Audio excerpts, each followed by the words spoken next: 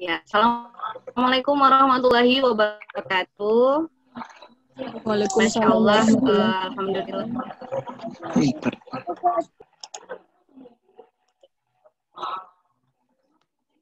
Ya, barangkali bisa di ini ya, bisa diatur ininya mungkin di unmute host. Jadi um, alhamdulillah bisa hadir di SRD uh, bisa uh, diberikan kesempatan untuk uh, membawakan materi ya terkait merancang gizi keluarga muslim sejak masa 1000 HPK. Jadi ini beberapa hal yang nantinya akan saya bahas ya uh, insya Allah uh, dan saya ingin memulai dulu dari strong why ya jadi uh, strong why ini adalah uh, menjadi alasan mendasar ya. Jadi kira-kira apa alasan mendasar kita uh, sebagai seorang muslim untuk care pada hal yang satu ini? Jadi as we know uh, Islam itu masya Allah adalah agama yang sangat komprehensif ya. Karena e, mengatur dari berbagai elemen ya. Mulai dari kita bangun tidur e, memimpin keluarga sampai kemudian yang lebih besar ya membangun negara dan e, apalagi ya persoalan penjagaan generasi ataukah pemeliharaan generasi. Insya Allah. Islam itu e, memiliki e, hukum syarak yang sangat lengkap ya dalam mengatur kehidupan kita. Bukan hanya persoalan individu tapi juga persoalan yang lebih besar dari itu ya. Persoalan keluarga dan juga persoalan negara. Dan ada banyak sekali ayat Al-Quran dan hadis yang terintegrasi dengan kesehatan ya termasuk penjagaan terhadap uh, seribu hari pertama kehidupan ini ya di sini saya menampilkan uh, ayat-ayat Al-Quran saja, tapi ada banyak hadis juga ya yang berkaitan dengan uh, kesehatan dan penjagaan generasi. Ya. Uh, jadi kalau ayat-ayat Al-Quran, masya Allah, mulai dari tahap pembentukan janin, mulai dari pemeliharaan janin dalam rahim, mulai dari masa kandungan, kemudian asupan yang baik, ya, uh, dan juga uh, uh, segala macam uh, makanan atau minuman yang dapat uh, merusak uh, akal itu sangat diharamkan dan sanksinya berat ya. Kemudian juga bagaimana kemudian di dalam uh, Al-Qur'an uh, terkait pentingnya keseimbangan gizi itu masya Allah ya Islam ini uh, betul-betul agama yang uh, masya Allah uh, mengatur secara komprehensif. Dan uh, kenapa kemudian saya memulai dengan ini ya karena saya ingin uh, membahasakan seperti ini ya bahwa kita itu uh, sebagai seorang muslim seharusnya terdepan ya di dalam uh, apa namanya mengaplikasikan uh, pemeliharaan seribu hari pertama kehidupan ini. Kenapa? Karena kita punya strong why yang masya Allah ya di dalam kitab suci kita di dalam uh, hukum syarak uh, di dalam hukum syarak dalam Islam ya uh, pengaturan tentang uh, pemeliharaan generasi itu masya Allah. Jadi apalagi yang bisa menjadi uh, dasar selain itu ya sehingga Eh, dengan strong why yang kuat ini ya dengan strong why yang jelas ini ya dari uh, Al-Qur'an juga memerintahkan demikian, dari hukum syara kita juga memerintahkan demikian. Seharusnya kita itu menjadi uh, muslim yang terdepan gitu untuk mengaplikasikan 1000 HPK ini.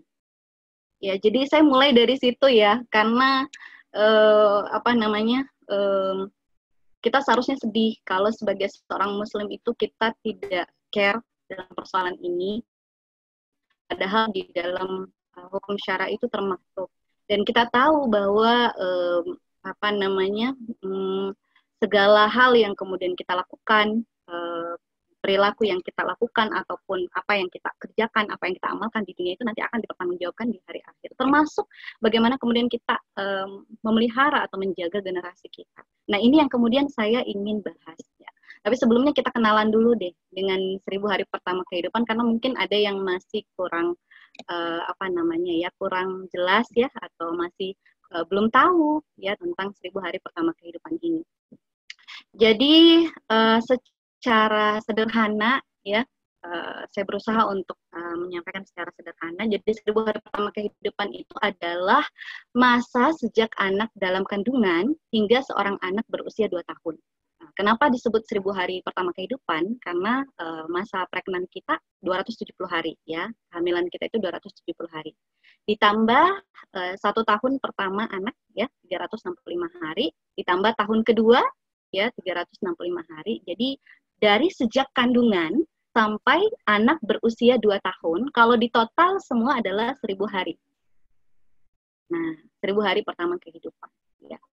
Nah, pertanyaannya adalah kenapa? Ada apa dengan seribu hari pertama kehidupan ini? Nah, seribu hari pertama kehidupan ini adalah disebut juga sebagai periode emas. Ya, karena pada periode ini pertumbuhan otak itu sangat pesat. Pesat sekali ya, 50 sampai 60 persen ya. Dan pertumbuhan otak ini tentunya harus didukung dengan gizi, ya, harus didukung dengan asupan yang cukup, ya, dari seluruh aspek gizi ya. Dari seluruh bagian gizi baik itu gizi makro ya karbohidrat protein lemak maupun gizi mikro ya vitamin dan mineral ya. Dan apa yang terjadi kalau kemudian ada problem pada 1000 HPK ini ya ini saya bahas nanti saya bahas lebih dalam lagi. Supaya kita lebih uh, apa namanya ya strong juga lebih kuat, kita sudah punya basic dari agama kita, uh, dan selanjutnya uh, saya ingin berbagi bagaimana kemudian kita memahami ini. Uh, kalau kemudian ada problem pada masa 1000 HPK ini adalah ini ya, uh, terjadi keter, ke apa, hambatan kognitif, ya, kemudian pendek, ya, stunting bahasa kerennya, kemudian anak menjadi lemah dan mudah sakit, ya, Eh, tentunya karena tadi ada hambatan kognitif, maka anak akan sulit mengikuti pelajaran, ya, dan nantinya ketika dewasa akan uh, mengalami masalah pada produktivitas. Ya. Uh, mungkin saya bahas uh, apa namanya lebih dalam lagi ya. Tadi itu permukaan saja. Nah, kita bahas satu-satu karena tadi mulai dari bumil ya, mulai dari masa kehamilan 270 hari ya. Nah, 270 hari pada masa kehamilan yang biasa terjadi itu adalah problem uh, masalah kurang gizi anemia ya, yang biasa terjadi dan ini menjadi program pemerintah. Apa dampaknya? ke baik lahir dengan berat badan rendah dan pendek dan kalau misalnya severe atau kondisi anemia berat ya, ya kurang dari 7 uh, eh, hemoglobinnya resiko lahir mati ya. Jadi uh, ternyata ya yang uh, apa namanya anemia ya yang biasa mungkin kita anggap itu sebagai satu hal yang biasa saja ya. Anemia itu biasa gitu ya.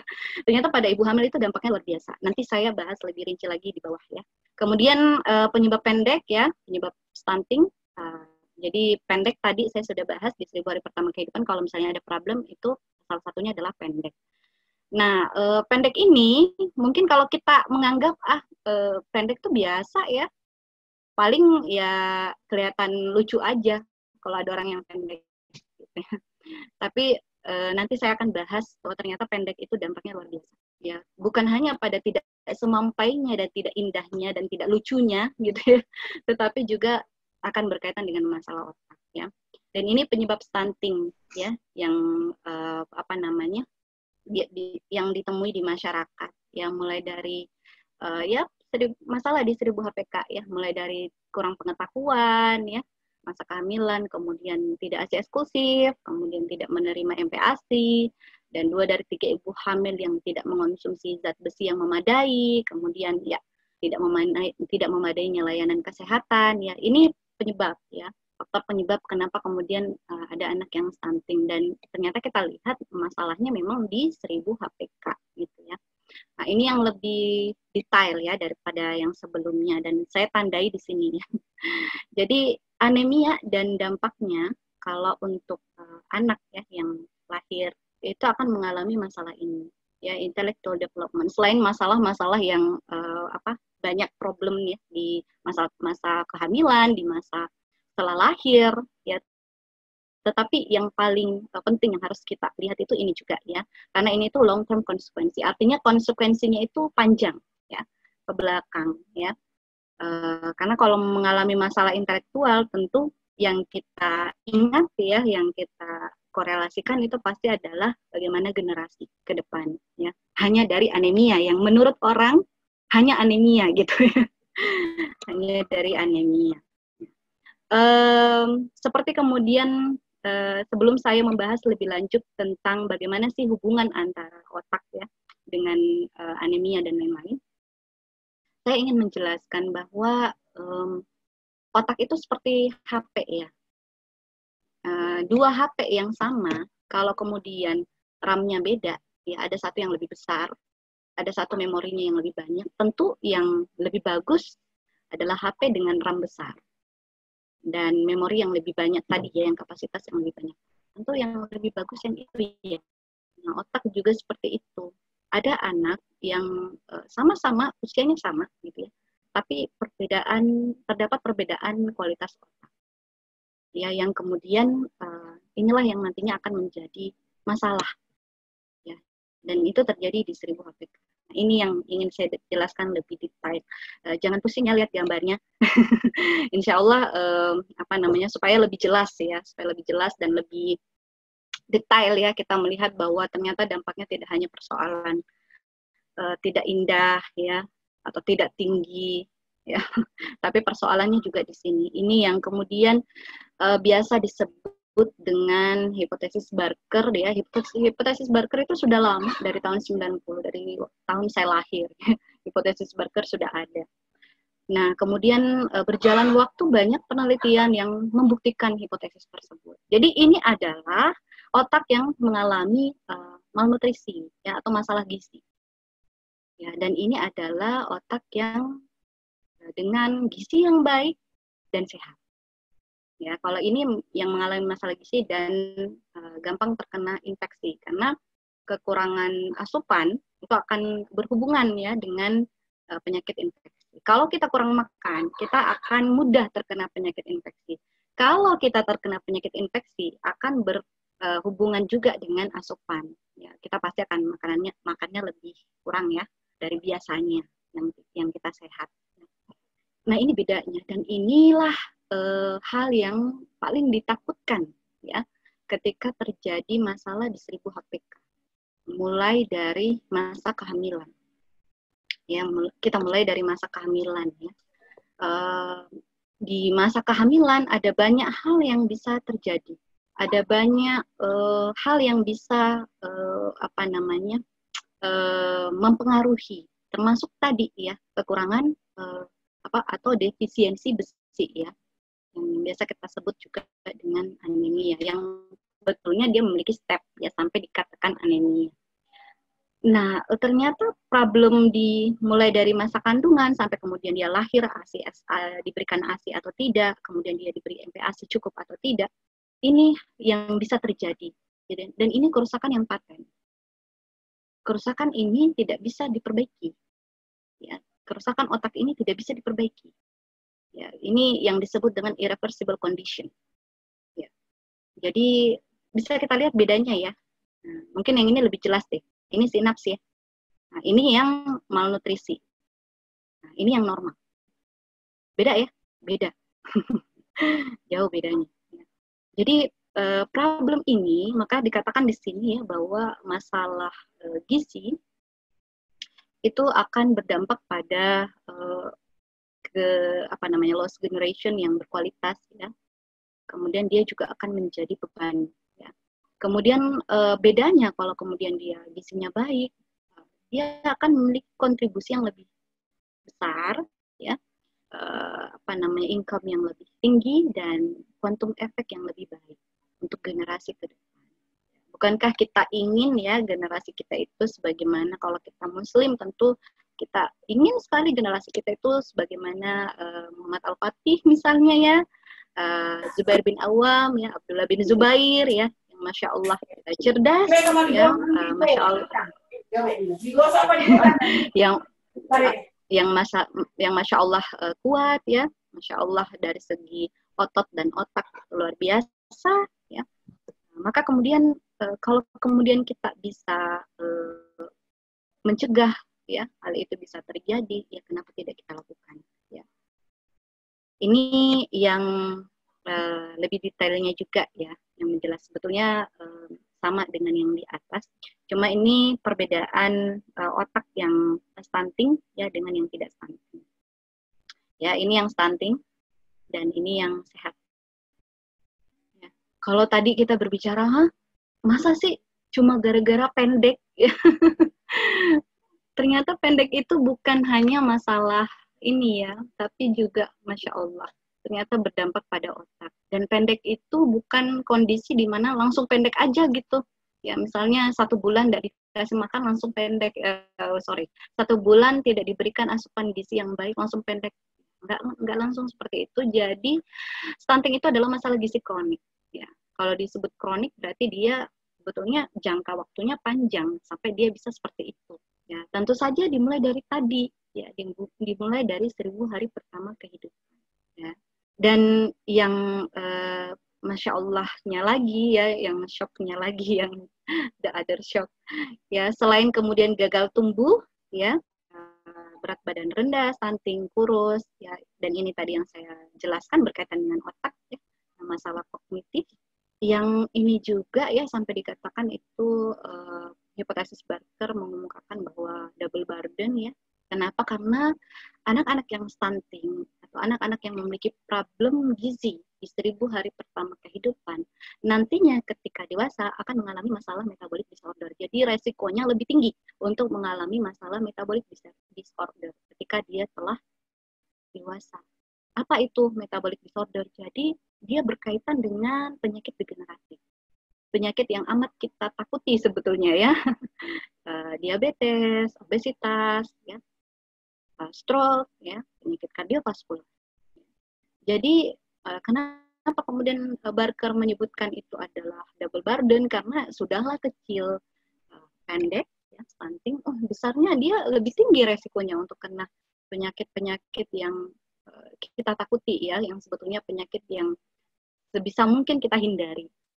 Ya, meskipun ini adalah Eh, hal yang kemudian banyak sekali faktornya ya tetapi ketika kemudian kita bisa mencegah dari awal dari seribu hari pertama kehidupan kenapa tidak? Bukankah Islam itu sangat menjaga sekali generasi ya? Maka kita seharusnya terdepan kalau yang persoalan seperti ini ya masya Allah. Jadi ini tuh um, apa namanya ya uh, sesuatu yang apa namanya yang mungkin dulunya kita anggap sepele, tetapi luar biasa dampaknya untuk ke depan. Ya. Masya Allah. Dan saya itu paling ini loh, uh, karena uh, apa namanya, saya juga memiliki kesalahan di masa lalu ya persoalan ini, uh, kesalahan yang uh, apa saya berusaha untuk perbaiki, ya saya berusaha untuk belajar lagi lebih baik. Alhamdulillah kalau kemudian cuman saya tidak begitu setuju ya kalau kemudian ada yang mengatakan, ih bapak saya juga dulu gitu kok, mama saya juga dulu gitu kok, nggak apa-apa gitu. Saya bisa begini, saya bisa begitu ya. Sebetulnya itu adalah siklus yang uh, siklus frame ya, frame pemahaman yang harus kita putus. Ya karena uh, ya alhamdulillah kalau misalnya demikian. Tapi apabila tidak demikian, kita kan tidak tahu apakah kondisi kita ini uh, sama persis dengan kondisi uh, apa namanya keluarga kita. Ya. Jadi kalau misalnya tidak sama, ya, nauzubillah kan kalau misalnya. Jadi ini adalah siklus yang tadi itu siklus frame ya, yang kemudian uh, harus kita putus dan harus kita bangun frame yang lebih baik. Ya. Apalagi di masa kita sekarang ini yang masya Allah informasi, masya Allah ininya ya, ya kita uh, diberikan kenikmatan yang lebih banyak gitu ya dibanding mungkin masa-masa orang tua kita dahulu sehingga kita putus frame itu. Ah nggak apa-apa kok. Dulu juga kayak gitu ya. Ilmu itu berkembang sehingga yuk kita sama-sama memperbaiki gitu. Uh, putuskan uh, rantai pemahaman lah yang kemudian menyatakan dulu juga kamu gitu dulu juga saya begitu. Orang tua pasti akan mengatakan itu. Tetapi ya kita sebagai anak sebagai orang yang mungkin sudah memahami ya maka kita seharusnya bisa memutus itu ya. Jadi sama dengan ini ya siklus yang tidak pernah putus.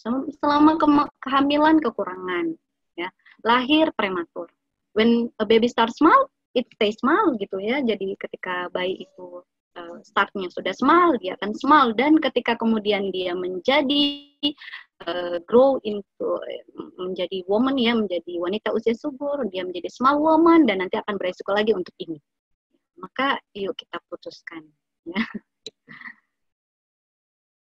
Nah, ini juga adalah, jadi sebetulnya ada beberapa intervensi spesifik yang bisa dilakukan. Ada, uh, saya ingin mengatakan gambar ini bahwa kita bisa memperbaiki, kita bisa mencegah, ya, mencegah, kita bisa mencegah, kita bisa memperbaiki. Dan uh, yuk kita sama-sama bangun frame yang lebih baik. Ya. Kalau seribu hari pertama kehidupan ini itu penting, ya, dengan uh, apa namanya Eh, darurat-darurat yang saya sebutkan tadi, ya, maka yuk kita ubah persepsi. Kita lakukan perbaikan di masa-masa ini. Selama kita masih bisa untuk melakukannya. Nah, ini tambahan referensi ya. Ada banyak sekali penelitian. Ini sebetulnya ada yang sudah jadul, ada yang juga masih update. Tapi ada banyak sekali penelitian. Dan ini penelitian itu ada yang dari luar juga. ya Bahwa stunting plus stimulasi kognitif kurang plus Eh, kekurangan yodium plus kekurangan besi ya yang kemudian akan anemia gitu ya. Maka faktor itu adalah faktor risiko utama tidak tercapainya potensi kecerdasan yang optimal. Jadi ada banyak sebetulnya uh, kaitan ya dan penelitian yang berkaitan antara stunting dengan hambatan kognitif. Ya, yang kemudian kita bahasakan bahwa oh pendek, oh pendek biasa, ya. Anu juga pendek ya. Apalagi kalau sudah ambil fakta-fakta ya. Kok ini juga pendek nggak apa-apa kok gitu. Yuk kita belum tentu punya kondisi yang sama. Ya, jadi mari kita sama-sama memperbaiki selagi kita masih bisa memperbaiki. Kemudian lebih sedikit yang bersekolah ya kalau kita berkaitkan eh, antar stunting ternyata eh, anak-anak uh, yang stunting itu lebih sedikit yang bersekolah kemudian nilainya itu lebih rendah jadi setiap penurunan satu standar deviasi. Jadi kalau uh, teman-teman atau uktivilah ya dan peserta SRD uh, eh, sudah pernah melihat growth chart, ya ini saya lihat ada teman-teman gizi di sini, masya Allah. teman-teman gizi ya. Uh, jadi kalau sudah lihat growth chart, um, di situ ada yang namanya standar deviasi kalau kita melihat grafiknya, setiap penurunan satu standar deviasi itu berkorelasi dengan eh, ketinggalan sepertiga tahun pendidikan. Gitu ya. Nah, meskipun ini penelitian yang jadul ya, tapi masih relevan menurut saya ya. Kemudian kemampuan kognitif lebih rendah, oh ini lebih banyak lagi penelitiannya ya. Dan di Indonesia juga sudah dilakukan oleh Sanjaja. Jadi dengan fakta-fakta ini ya di hadapan kita ya yang sudah kemudian melakukan penelitian dan juga uh, apa namanya hipotesis-hipotesis yang sudah sejak lama dengan didukung oleh penelitian-penelitian selanjutnya maka ternyata stunting itu problem. Problem yang harus diselesaikan. Problem yang kita bisa cegah problem yang tidak hanya berkaitan dengan wah kamu pendek ya ya sayang sekali gitu tapi itu juga berkaitan dengan otak gitu dan bagaimana faktanya di Indonesia? Ya ini faktanya di Indonesia. Ternyata stunting itu yang paling tinggi uh, prevalensinya. Jadi kalau untuk underweight, gizi buruk atau gizi kurang yang berkaitan dengan berat badan menurut umur itu seperti ini ya dari tahun 2007 sampai tahun 2018.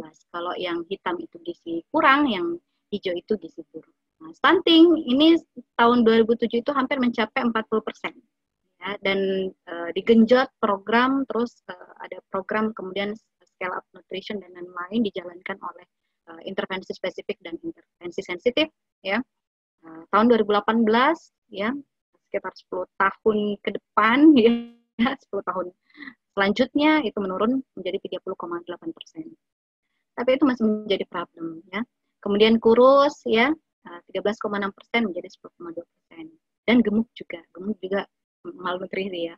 Ini gemuk juga masalah gizi. Uh, dari 2007 12,2 sampai 8 persen. Tapi ini masih menjadi problem. Kalau ini mungkin lebih ini ya, lebih jelas ya.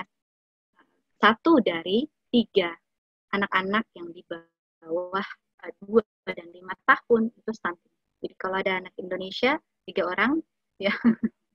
Satunya itu stunting. Kemudian satu dari uh, 10 anak-anak di bawah usia lima tahun itu kurus. Ya.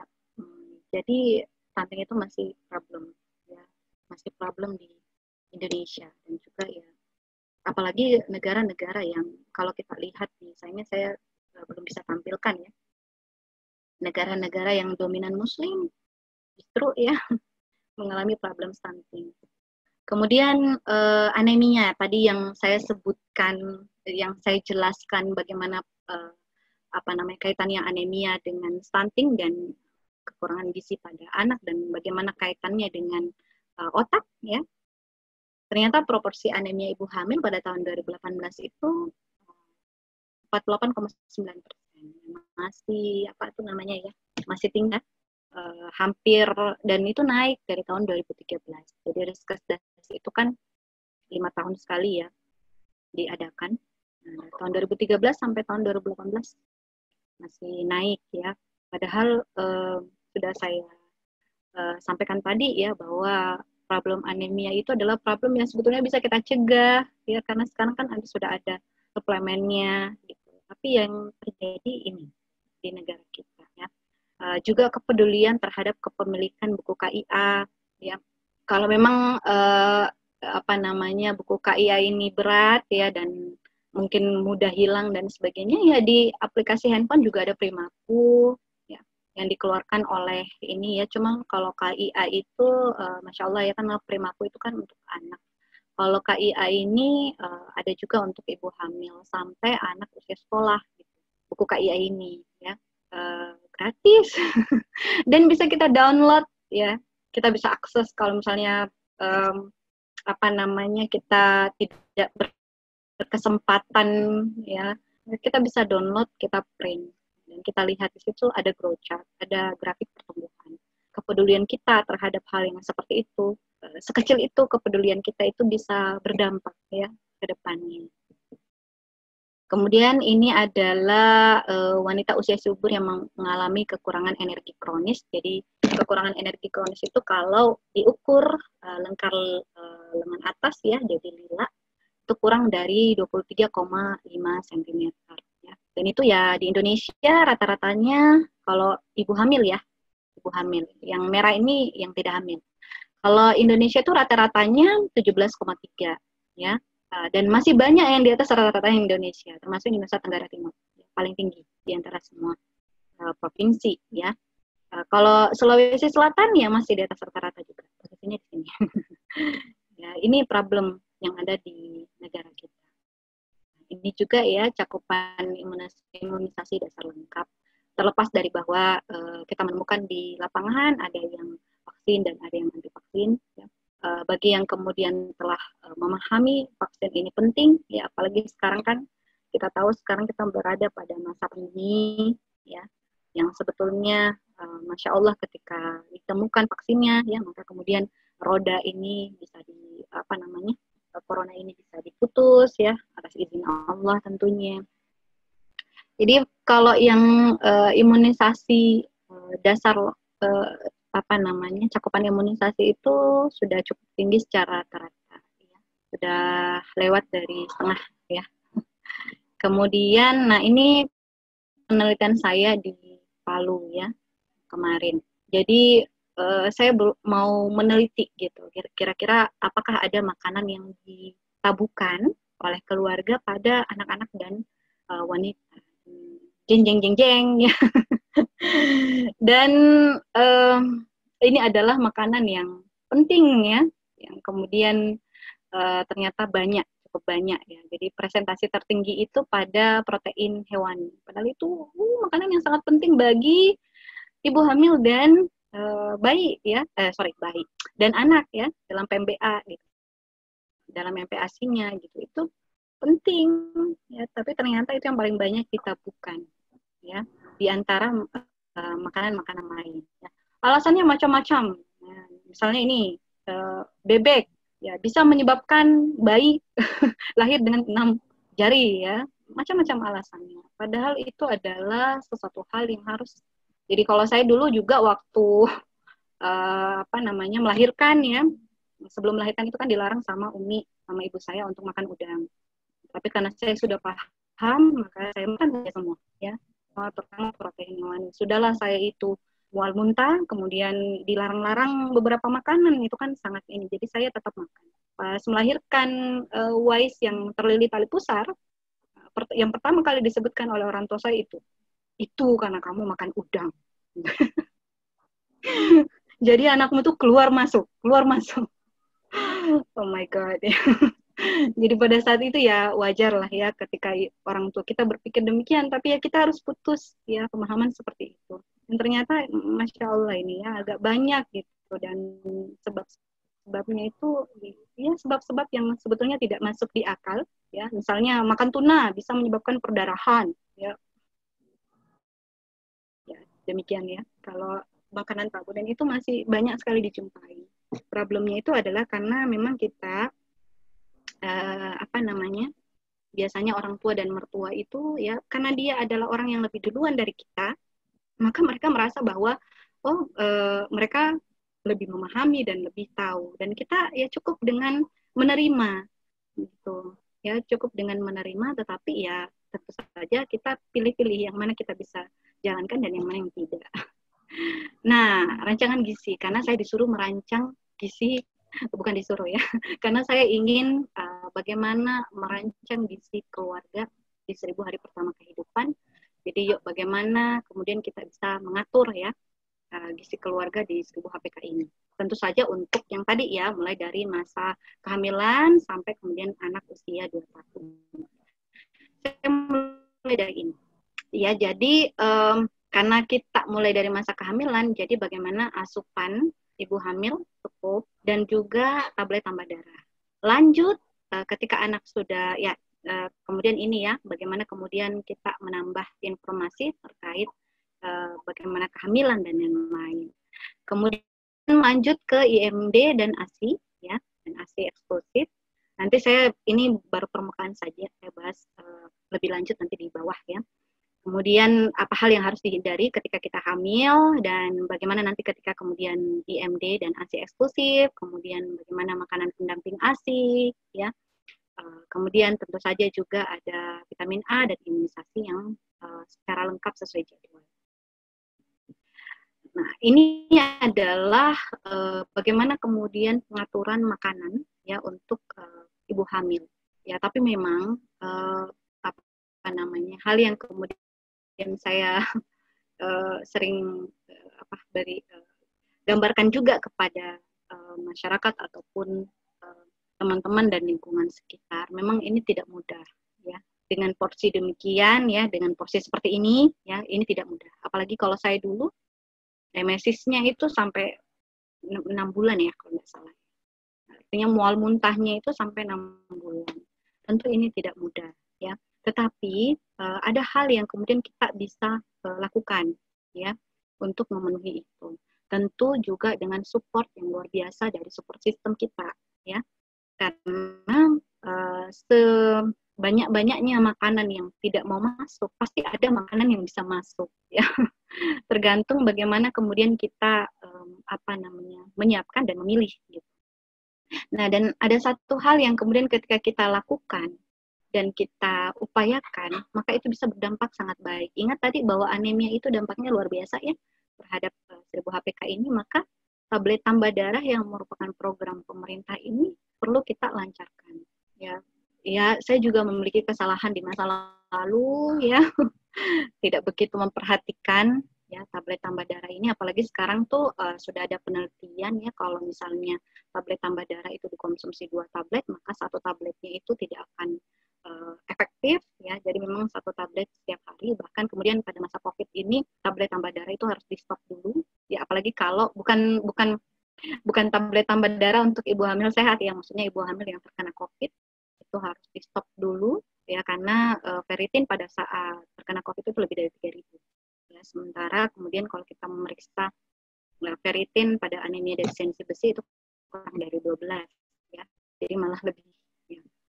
Nah, ini yang kemudian tadi saya gambarkan bahwa tablet tambah darah itu sangat penting ya jangan pusing ya lihat gambarnya iya di sini gambarnya ini hanya menggambarkan bahwa uh, sebetulnya ketika kita minum tablet tambah darah ini bisa uh, dicapai dengan makanan. Tapi ini uh, makanannya 300 gram daging tambah 200 gram ayam untuk memenuhi kebutuhan besi ya agar tidak anemia. But the problem is kalau yang kayak saya tadi ya yang mual muntah atau kemudian yang memiliki masalah-masalah problem lainnya ya cukup dengan tablet tambah darah.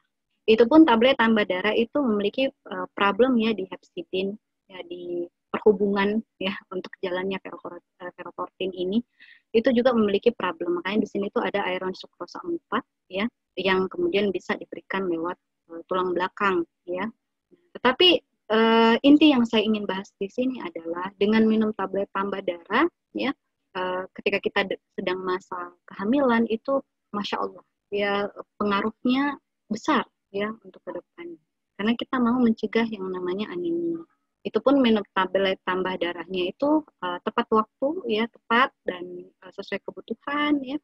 Nah, dan ini uh, yang saya ingin sampaikan ya secara sederhana ya bahwa di sini uh, iron deficiency anemia pada trimester 1 itu biasanya terjadi pada 50% ya wanita.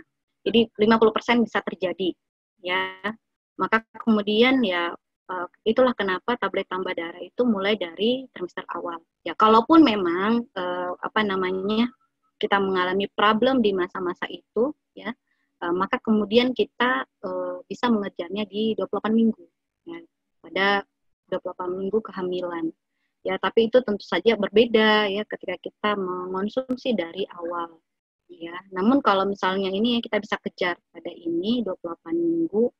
Nah, yang ini yang paling uh, kritis ya kalau misalnya kita baru uh, mau mulai di 34 minggu sudah tidak bisa lagi tablet tambah darah ya. Kita perlu iron sucrose ya yang tadi yang lewat uh, apa namanya? iron sucrose 4 ya. Nah, uh, kenapa sih mesti ya kita uh, uh, minum tablet tambah darah atau asupan besi itu mesti cukup pada masa-masa kehamilan? Soalnya kalau misalnya dia sudah lahir, si dedek bayinya sudah lahir, uh, apa namanya uh, baru mau dicukupkan besinya itu amat sangat sulit.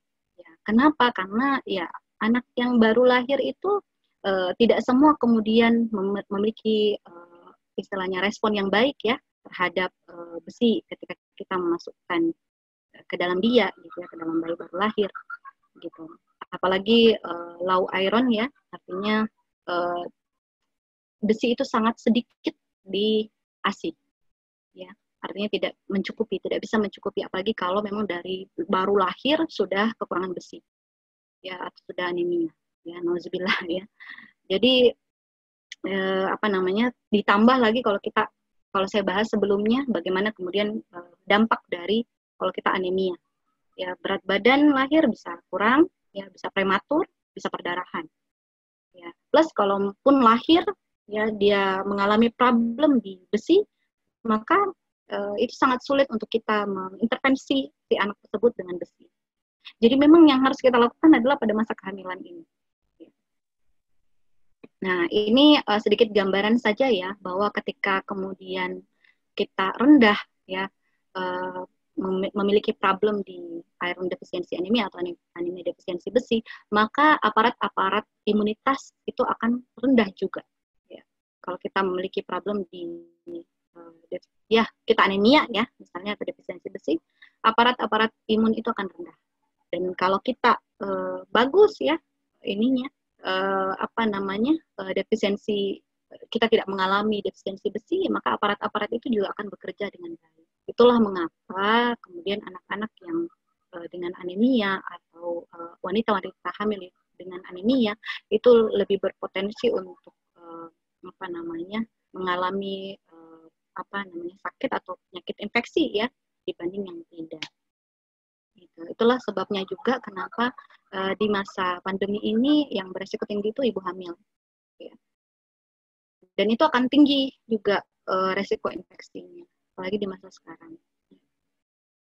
Nah, jadi ini adalah uh, pedoman gizi seimbang untuk ibu hamil, ya, yang tadi saya sudah uh, sampaikan di atas, ya, sesuai dengan isi piring kita, ya, dengan porsi-porsi uh, sekian ya untuk 2250 kilokalori.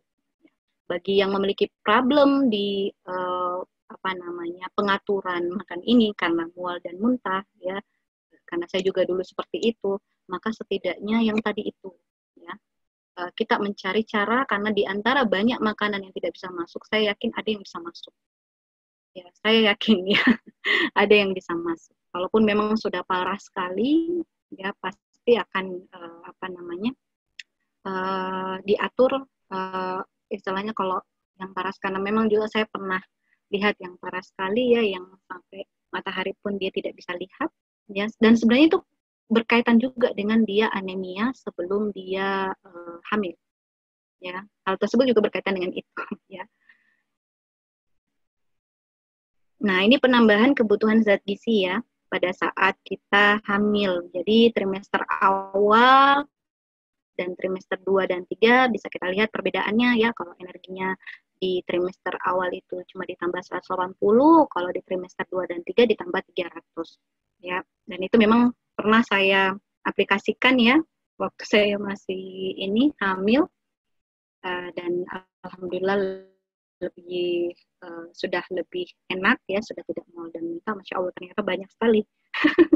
Ya dalam satu piring ya jadi memang kalau kita uh, apa namanya dan itu problem juga bagi kita yang hamil ya Nah, ini nilai zat besi yang kemudian ada pada makanan yang seharga 2.500 sampai 5.000 per roti. Yang paling tinggi adalah hati ayam. Ya.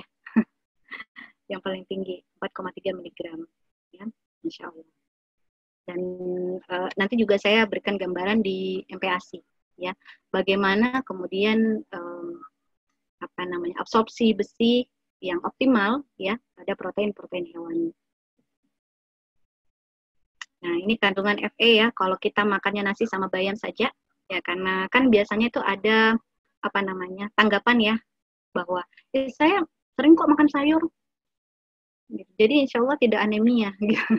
Coba kita lihat ya. Nasi dan bayam saja itu hanya 3,4 mg. Tapi kalau lengkap ya, misalnya ada nasi, bayam, jagung, pepaya ya yang bisa melancarkan uh, proses absorpsi ya kan gitu supaya ada vitamin yang bisa melancarkan. Kemudian hati dan tempe maka ada 13,3 mg. Ya kalau tambah uh, apa namanya tambah lengkap lagi 14,6 ya. Cuma problemnya itu ya masalah makan yang terjadi pada masa kehamilan. Nah setidaknya yang tadi ya kita suplementasinya baik karena kita mau kan mencegah gitu sudah saya jelaskan tadi dampaknya yang tidak hanya pada diri kita saja, tapi masya Allah untuk generasi ke depan. Jadi ini jangka panjang. Ya. Kemudian selanjutnya IMD ya, inisiasi menyusui dini. Jadi kalau tadi saya sudah memberikan saran pada masa-masa 270 hari ya masa kehamilan yang uh, saya tekankan adalah uh, bagaimana kemudian tablet tambah darah itu uh, dikonsumsi dengan baik ya hanya dengan kita mengonsumsi itu bisa berkontribusi besar nanti untuk generasi kita. Gitu. Malas ya, saya juga pernah merasakan masa-masa itu ya. Aduh malas, malas sekali makan satu tablet tablet tablet gitu ya. Tapi setelah tahu itu ya saya jadi bisa ada frame. Makanya di sini tuh kita bangun frame ya supaya kita bisa terdorong untuk karena itu adalah pilihan. Itu adalah pilihan kita mau apa tidak ya. Kemudian masuk pada saat bayi lahir. Ya kan satu sampai bayi lahir sampai satu tahun 365 hari. Kita masuk ke yang itu ya. Bagaimana kemudian uh, rancangan gizinya ya. Yang pasti uh, pada saat bayi baru lahir inisiasi menyusu dini itu sangat penting.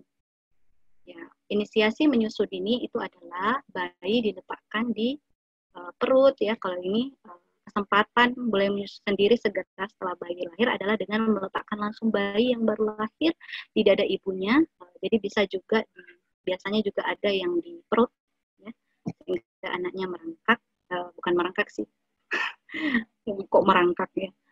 Anaknya uh, mencapai dari perut sampai ke dada. Tetapi sekarang itu yang kebanyakan adalah di dada. Ya, dibiarkan uh, baby yang baru newborn tadi di dada dan kemudian si baby yang kemudian mencari mencari sendiri puting susu ibu untuk menyusu. Nah, uh, ini itu sangat penting. Kenapa? Karena dia akan uh, mensukseskan uh, ASI eksklusif, ya, dan bisa merangsang ASI yang kemudian tidak keluar. Ini pada saat baru lahir, ya, banyak sekali manfaatnya, ya. Uh, di antaranya uh, bayi hangat, ya, karena berada dalam uh, istilahnya skin to skin, ya, dengan ibu jadi bukan hanya persoalan uh, ini ya, tapi bisa mendukung persoalan stimulasi lainnya. Kemudian bayi jadi jarang rewel, ya pernapasan tenang, detak jantung stabil. Kemudian uh, bakteri baik dari kulit ibu itu menempel pada kulit bayi dan itu bisa memberikan perlindungan dari kuman yang berbahaya. Ya, Masya Allah banyak sekali manfaatnya. Yang terpenting adalah pada saat IMD bayi mendapat kolostrum atau cairan kental kekuningan jadi pada saat eh, apa namanya eh, hari-hari pertama ya kita melahirkan ya biasanya itu yang keluar adalah kolostrum ya yang keluar sampai kemudian sekian hari itu adalah kolostrum. Dan kolostrum ini sangat penting sekali untuk imunitas atau kekebalan tubuh bayi. Luar biasa ya eh, apa namanya perannya kolostrum ini. Dan itu kita bisa dapatkan pada saat IMD, ya, pun dengan hari-hari setelah uh, uh, apa newborn tadi ya sampai sekitar beberapa hari ya, itu kita bisa dapatkan kolostrum ini. Nah, uh, problemnya adalah biasanya tidak dilakukan ini karena support yang kurang baik, misalnya dari uh, apa namanya uh, tempat pilihan kita untuk melahirkan. Jadi dulu waktu saya Wais ya anak pertama itu betul-betul saya saya pindah-pindah uh, rumah sakit bersalin. Ya karena mau mencari rumah sakit yang mendukung ini IMD inisiasi menyusui ini karena uh, bedanya kemudian saya dapatkan sekali itu bedanya kalau tidak karena konsa itu uh, ya rumah sakitnya mengaku dia melaksanakan IMD tetapi ternyata tidak sesuai protokol. Ya dan kita yang saya yang sudah lemas yang sudah kurang ini ya juga tidak bisa ini ya jadi caranya kurang tepat gitu pada saat ini. Dan plus juga Vanessa pada waktu itu sedang uh, menelan banyak lendir. Jadi harus dibereskan dulu itunya nah uh, ini sangat penting bagi kita untuk uh, memilih dan juga dukungan dari orang-orang sekitar. Ya karena inisiasi menyusui dini ini beda dengan menyusui segera. Beda sekali ya. Kalau misalnya anak bayi baru lahir kemudian e, dibersihkan ya ditimbang kemudian dikasih menyusui ke ibunya itu beda. Dengan bayi baru lahir ya pada dilap-lap saja kemudian ditaruh di dada. Ya. Dan kemudian dia mencari sendiri. Kalau menyusui segera ya kita yang meletakkan dia pada ini kita. Tapi kalau kemudian inisiasi menyusui dini itu betul betul betul betul babynya yang mencari. Ya dan masya Allah sih ya uh, pada saat saya mengalami itu luar biasa. Ya saya menyaksikan kebesarannya Allah yang luar biasa. Ya karena seorang bayi yang baru lahir itu ternyata mampu melakukan itu ya dan dari beberapa penelitian juga saya membaca ya saya tidak cantumkan di sini bahwa uh, di situ juga bisa kita lihat bagaimana uh, respon bayi ya Nah, problemnya juga adalah ketika uh, ada yang mengalami seksio atau sesar. Itu biasa yang uh, tidak semua rumah sakit bisa karena uh, pada saat uh, di sesar ya dari informasi yang kemudian saya ini dapatkan pada saat di sesar uh, suhu ruangan itu uh, diupayakan tidak tinggi gitu ya. Jadi tidak boleh di atas 25. Jadi betul-betul harus dingin karena uh, begitu di atas 25 uh, apa namanya ditakutkan bakteri masuk ya karena kan uh, apa namanya diseksio itu di ini ya. Sehingga kemudian ada yang tidak melaksanakan dan memang tidak bisa dipaksakan. Jadi kalau kita bisa berupaya untuk uh, apa namanya mencari yang bisa itu ya masya Allah gitu ya misalnya kalau di Makassar ini ada RSB uh, bersalin restu Nah, itu dia mengkondisikan. Ya. Kemudian lagi uh, pada saat setelah IMD, jadi IMD itu uh, bisa mendukung 1000 HPK ya karena tadi ya yang saya jelaskan. Jadi IMD ini juga menurut saya penting untuk dilaksanakan ya. Diupayakan.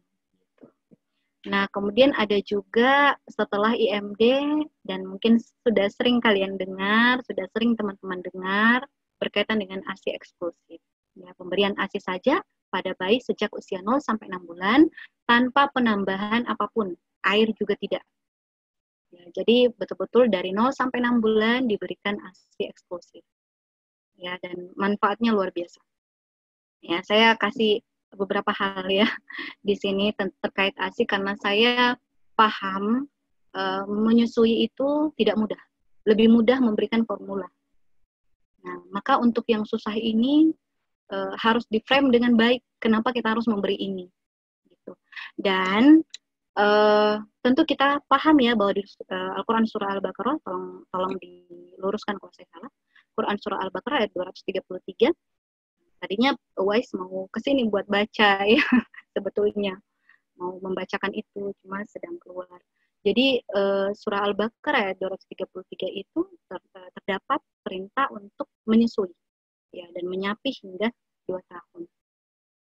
Jadi kalau sudah ada dasar ya sudah ada basic uh, dari agama kita juga sudah masya Allah ya maka kita punya strong way yang kuat untuk melaksanakan ini gitu, untuk memberikan ini. Nah, ini perbedaan ASI dengan berbagai air susu mamalia lain. Ya, kalau kita lihat nih uh, apa namanya uh, apa pada manusia ya uh, ASI pada manusia itu nanti mencapai dua kali berat lahir pada uh, 180 kali pemberian. Ya, beda dengan sapi ya, 47 ya kali, nah, tikus 6 kali. Nah, kalau kita lihat komposisi mak makronutriennya uh, protein pada sapi itu lebih tinggi, tikus juga lebih tinggi, ya. Uh, lemaknya uh, manusia yang tinggi, tapi yang paling tinggi itu adalah tikus. Ya makanya kemudian uh, apa namanya sampai disebutkan ya beberapa kali disebutkan oleh misalnya dokter spesialis anak ya oleh uh, banyak juga pamflet-pamflet uh, yang kita temukan bahwa uh, susu formula itu untuk otot sementara susu uh, sementara ASI itu untuk otak tapi tidak juga kemudian mengklaim yang memberikan karena tentu ada uh, beberapa alasan ya yang memang bisa uh, apa namanya diterima ketika kemudian tidak bisa memberikan ini. Ya tetapi apabila kita bisa mengusahakan maka kita usahakan ya. Dan yang paling tinggi di ASI itu adalah laktosa. Dan ternyata laktosa ini itu sangat penting untuk otak ya. Nanti nah ya jadi ini nanti ada di bagian bawah saya jelaskan juga tentang uh, apa uh, fungsinya, ya apa perannya laktosa tadi. Ini perbedaan ASI dan formula. Bisa dilihat ya perbedaannya. Jadi memang uh, sekali lagi ya, memang untuk kalau pertambahan berat badan dan sebagainya itu formula luar biasa.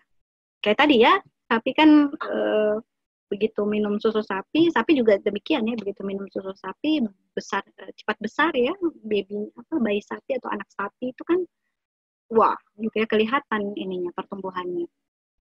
Tapi kalau manusia ya jadi dan kelihatan juga bahwa uh, anak bayi yang biasa diberikan formula itu uh, apa namanya biasanya lebih uh, besar ya meskipun tidak semua ya dan kita tidak mengeneralisir. Kemudian eh, ya bisa kita lihat juga bahwa di ASI itu ada antivirus, anti alergi, anti parasit, growth factor, dan enzim. Ya, yang kemudian tidak ada di formula, susu formula. Ya. Dan ini eh, yang saya bahasakan tadi, kolostrum. Ya, yang Masya Allah eh, salah satu kebesaran Allah juga dalam ASI ya karena dia penuh dengan antibodi, melindungi terhadap infeksi dan juga membersihkan mekonium atau mencegah kuning pada bayi, ada growth factor juga, mempercepat matangnya usus, mencegah alergi, intoleransi, tinggi kandungan vitamin A-nya, menurun, menurunkan beratnya infeksi, ya, yang tidak kita temukan pada susu formula. Kemudian human milk tadi ini ya yang saya jelaskan bahwa paling tinggi itu adalah laktosa. Jadi human milk dan uh, ya ini juga uh, sedikit gambaran ya bahwa laktosa pada ASI itu lebih tinggi. Memang oke okay, susu sapi itu lemak dan protein, makanya yang minum susu formula ya, cenderung lebih uh, kenaikan berat badannya lebih banyak ya dibanding ASI. Dan ASI itu anak-anak gampang kemudian lapar kembali karena nanti ada kasein. ada perbedaan antara kasein dan di bawah nanti. Nah, ini juga uh, perbedaannya ya ASI dengan susu sapi.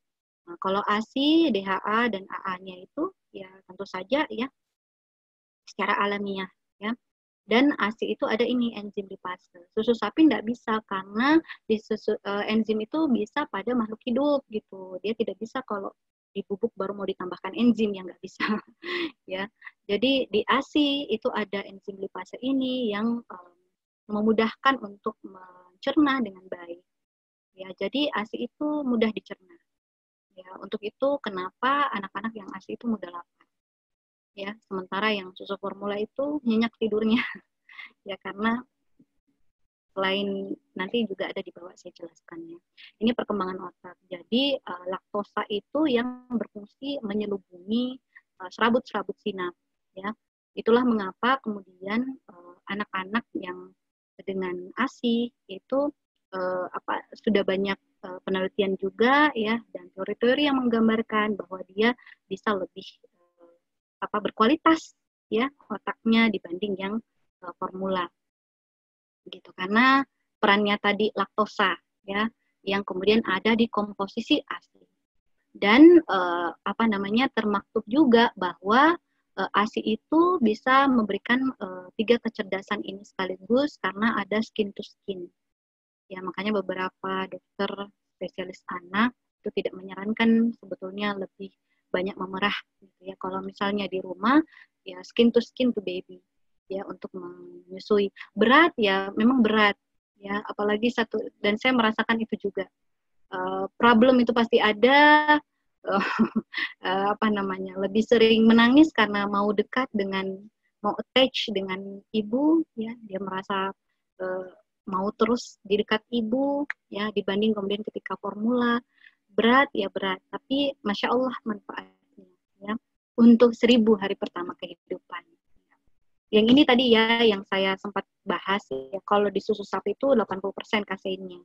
Sementara yang uh, di asid cuma 35% dan uh, whey protein yang lebih tinggi dan ini yang mudah dicerna.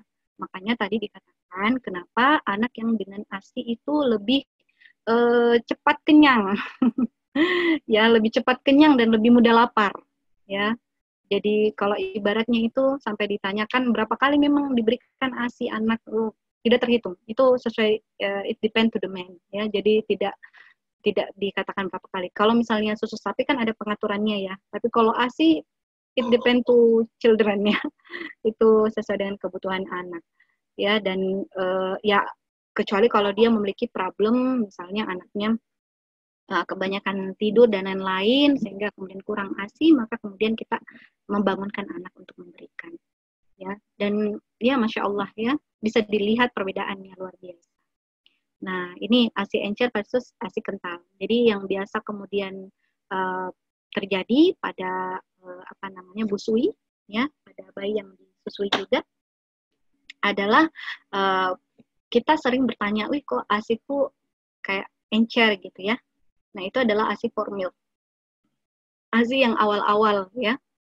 Nah, makanya kemudian ketika menyusui disarankan untuk menyusui hingga pada satu ini hingga uh, selesai ya hingga puas gitu.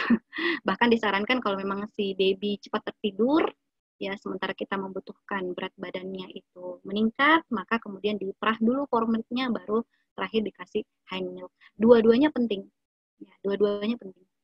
Ya, keduanya ini penting untuk pemberiannya. Tapi kalau misalnya ada problem, babynya itu cepat tidur, maka kemudian kita perah diberikan high milk untuk pertambahan berat badan yang lebih baik. Kalau ada problem ya. Ini sih tapi uh, apa namanya? tentu saja keduanya itu penting, otak dan otot itu penting ya. Tapi as we know uh, bahwa otak itu uh, adalah salah satu tadi yang kita uh, khawatirkan di seribu hari pertama kehidupan dan semoga dengan kita menjalankan IMD dan ACS ini maka itu bisa uh, ditopang dengan baik sehingga bisa mencegah kerusakan permanen yang tidak dapat diperbaiki ya pada uh, otak. Kemudian yang ketiga, karena tadi kita sudah masuk ke ASI, ya, maka saya masuk ke sini, MPASI. Karena ini kan rancangan gizi ya, jadi saya harus mulai dari hamil sampai kemudian dua tahun. Ya, dan saya cuma mau memberikan frame-frame yang mungkin keliru di tengah-tengah masyarakat. Misalnya uh, pada pada saat ASI tadi banyak sekali uh, saya temui juga teman-teman kerabat ya yang tidak mau memberikan ASI karena uh, apa namanya susah ya uh, problemnya banyak ya dibanding kemudian ketika kita beri susu formula. Uh, yang kalau misalnya dia tidak bisa memberi ASI karena alasan yang masya apa namanya yang uh, yang bisa di ini ya maka ya memang itu adalah jalan terakhir gitu. Tapi ketika kemudian masih bisa itu untuk diberikan ya dengan melihat tadi perbedaan yang amat besar antara ASI dan susu formula yang maka kita problemnya pasti banyak. Banyak sekali problem yang bisa terjadi. Ketika anak sudah punya gigi dan dan lain-lain banyak ya. Selama saya menyusui saya pasti mengalami demam ya. Uh, Huais maupun Homsa itu problem. Dan ya memang segala sesuatu yang susah itu perlu frame yang baik untuk uh, menguatkan. Belum lagi kalau ada jadi sebelum saya uh, maaf saya bahas sedikit ya soalnya ya itu yang terjadi di tengah-tengah kita sebelum saya itu melahirkan masih hamil umi saya itu sudah bilang begini anakmu itu kasih botol ya susah kamu nanti kalau tidak kasih botol. ya Umi itu sudah bilang begitu, padahal saya belum melahirkan. Maka memang kalau kita tidak bertahan dan uh, tidak memperjuangkannya, ya mungkin kita akan kalah hanya dengan step itu. Ya, bagaimana kemudian apalagi kalau dan wise itu dulu, masya Allah uh, apa namanya aktif dan nangisnya luar biasa, kencang terdengar sampai di luar rumah, ya dan itu ketika saya mempelajari sekarang ya, masya Allah ternyata itu uh, karena skin to skin ya, dia dia rindu dengan attach, rindu attach dengan ibunya dan itu stimulasi, masya Allah ya. Segala sesuatu yang penting buat baby, maksud saya seperti itu ya. Memang tidak mudah sampai 20 kali sampai ya seperti itu dan Eh, baby yang kemudian uh, dengan ASI itu biasanya ya sampai 20 kali juga BAB-nya ya sampai 10 kali BAB kalau susu formula itu kan biasanya 8 kali ya. Ya pasti kesulitannya akan lebih ini maka kemudian menyusui itu memang butuh support system yang luar biasa ya dari suami dan dari keluarga. Tidaknya suami mendukung dengan baik dengan, dengan menjadi ayah ASI yang luar biasa ya membantu uh, istrinya dan uh, apa namanya memberikan kemudahan-kemudahan bagi istri. Karena kita memang satu tim ya jadi dalam persoalan itu pun satu tim. Uh, dan uh, apa namanya uh, apa namanya tentu saja di dalam pemberian asi banyak tantangan. Sehingga uh, kita berharap kita bisa menyelesaikan tantangan itu dengan baik ya. nah syarat MPASI jadi kita udah masuk ini di MPASI makanan pendamping ASI di sini juga ada beberapa frame yang ingin saya luruskan ya. Dan ya saya juga dulunya seperti itu frame mendapatkan frame yang seperti itu. Sehingga saya tidak mau karena sharing itu caring ya saya tidak mau eh, teman-teman uh, yang kemudian mengikuti ini itu uh, mengalami apa namanya mengulang kesalahan saya gitu ya. Jadi kalau bisa kita cegah yuk kita cegah ya. Nah syarat MPASI ini uh, menurut WHO ya jadi tepat waktu Tepat waktu berarti diberikan saat kebutuhan energi dan gizi tidak tercukupi lagi dari ASI eksklusif. Ya, jadi namanya makanan pendamping ya berarti ketika ASI sudah tidak cukup itu diberikan. Ya. Kemudian ya ada kesiapan-kesiapan yang harus kita lihat, terutama kesiapan motorik, enzim pencernaan dan psikologis ya. Kemudian aman, ya bersih pada proses persiapan, penyimpanan makan, alat makan adekuat ya memenuhi kebutuhan energi, gizi makro, gizi mikro yang tidak terpenuhi dari ASI, kemudian eh, responsif feeding yang kemudian menurut saya ini yang paling sulit ya mendisiplinkan ya karena kita kejar-kejaran. Nah, um, saya mulai dari uh, tepat waktu ya. Kenapa kemudian FPASI itu mesti diberikan pada usia enam bulan? Ya, karena kita lihat ini ya, ternyata uh, apa namanya kebutuhan uh, apa protein di formula milk, milk maupun high milk itu turun ya.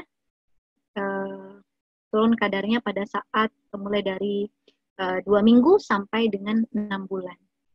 Sehingga itulah sebabnya kita membutuhkan makanan pendamping. Ya begitu juga dengan lemak ya. Dan tentu saja energi. Kalau lemak dan protein sudah turun, tentu saja energi juga turun ya pada ASI. Sehingga kita membutuhkan uh, makanan pendamping yang bisa menopang itu. MPASI pertama itu harus menu lengkap. Nah, ini yang kemudian uh, saya ingin luruskan ya karena ya yang saya ketahui ya yang saya pahami ya MPASI uh, pertama itu harus menu lengkap.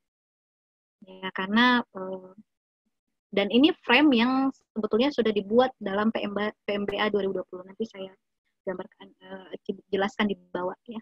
Nah ini perbandingan kebutuhan zat gizi dari ASI dan NPASI pada usia 6 bulan. Ya. Kita lihat bahwa ternyata dari uh, besi dari ASI yang biru ini ya, besi, zat besi dari ASI itu amat sangat sedikit. Seng dari ASI juga amat sangat sedikit ya, sehingga butuh ditopang oleh NPASI ya begitu juga dengan meskipun energi dan protein masih cukup tinggi di ASI pada usia 6 bulan tetapi uh, kita lihat besi dan seng ya yang uh, mulai uh, semakin sedikit ya ketika kemudian sudah usia 6 bulan. Jadi menu MPASI pada usia 6 bulan itu harus lengkap. Ya, lengkap berarti apa? Seimbang. Seimbang berarti terdiri atas apa? Gizi makro dan gizi mikro.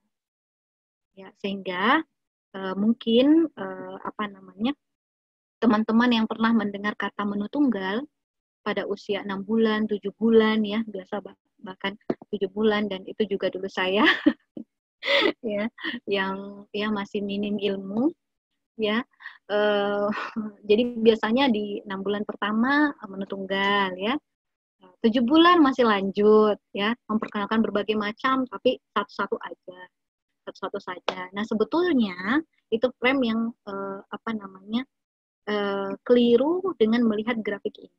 Karena kebutuhan zat besi dan kebutuhan seng itu amat sangat dibutuhkan pada MPASI bahkan di usia 6 bulan. Sehingga menunya itu lengkap. Lengkap berarti ada semua ya, tidak hanya tunggal. Tentunya secara bertahap ya. Secara bertahap maksudnya adalah porsinya secara bertahap dan juga melihat bagaimana reaksi alergi dari anak. Nah, ini eh, apa namanya? cara membuat MPASI untuk bayi usia 6 sampai 9 bulan bedanya yang lama dengan yang baru. Nah, ini yang lama ya yang ada di buku KIA dan ini yang baru. Yang PMB 2020 dan eh, kemudian ini masih draft ya. Nah, yang lama itu kita lihat ya, yang lama eh, ada ikan eh, 15 gram ya. Sementara kalau di 6 sampai 8 bulan ini 6 sampai 9 bulan. Itu sedikit sekali uh, protein hewaninya padahal uh, zat besi itu yang paling dominan terdapat pada protein hewani. Sementara di PMBA terbaru itu 25 gram ya uh, hati ayam atau protein hewani ya karena hati ayam tadi paling banyak besinya makanya itu yang saya kasih gambaran di sini ya hati ayam uh, dan juga minyak nah minyak di sini 5 gram sementara di sini tuh kurang dari seperdua sendok teh. Ya, berarti berapa itu ya? Sedikit sekali. Biasanya malah dikasih tetes per tetes. Ya, sementara kalau misalnya di PMB terbaik itu 5 gram. Ya, berarti sekitar setengah ya dari sendok makan. Vitaminnya dari bayam.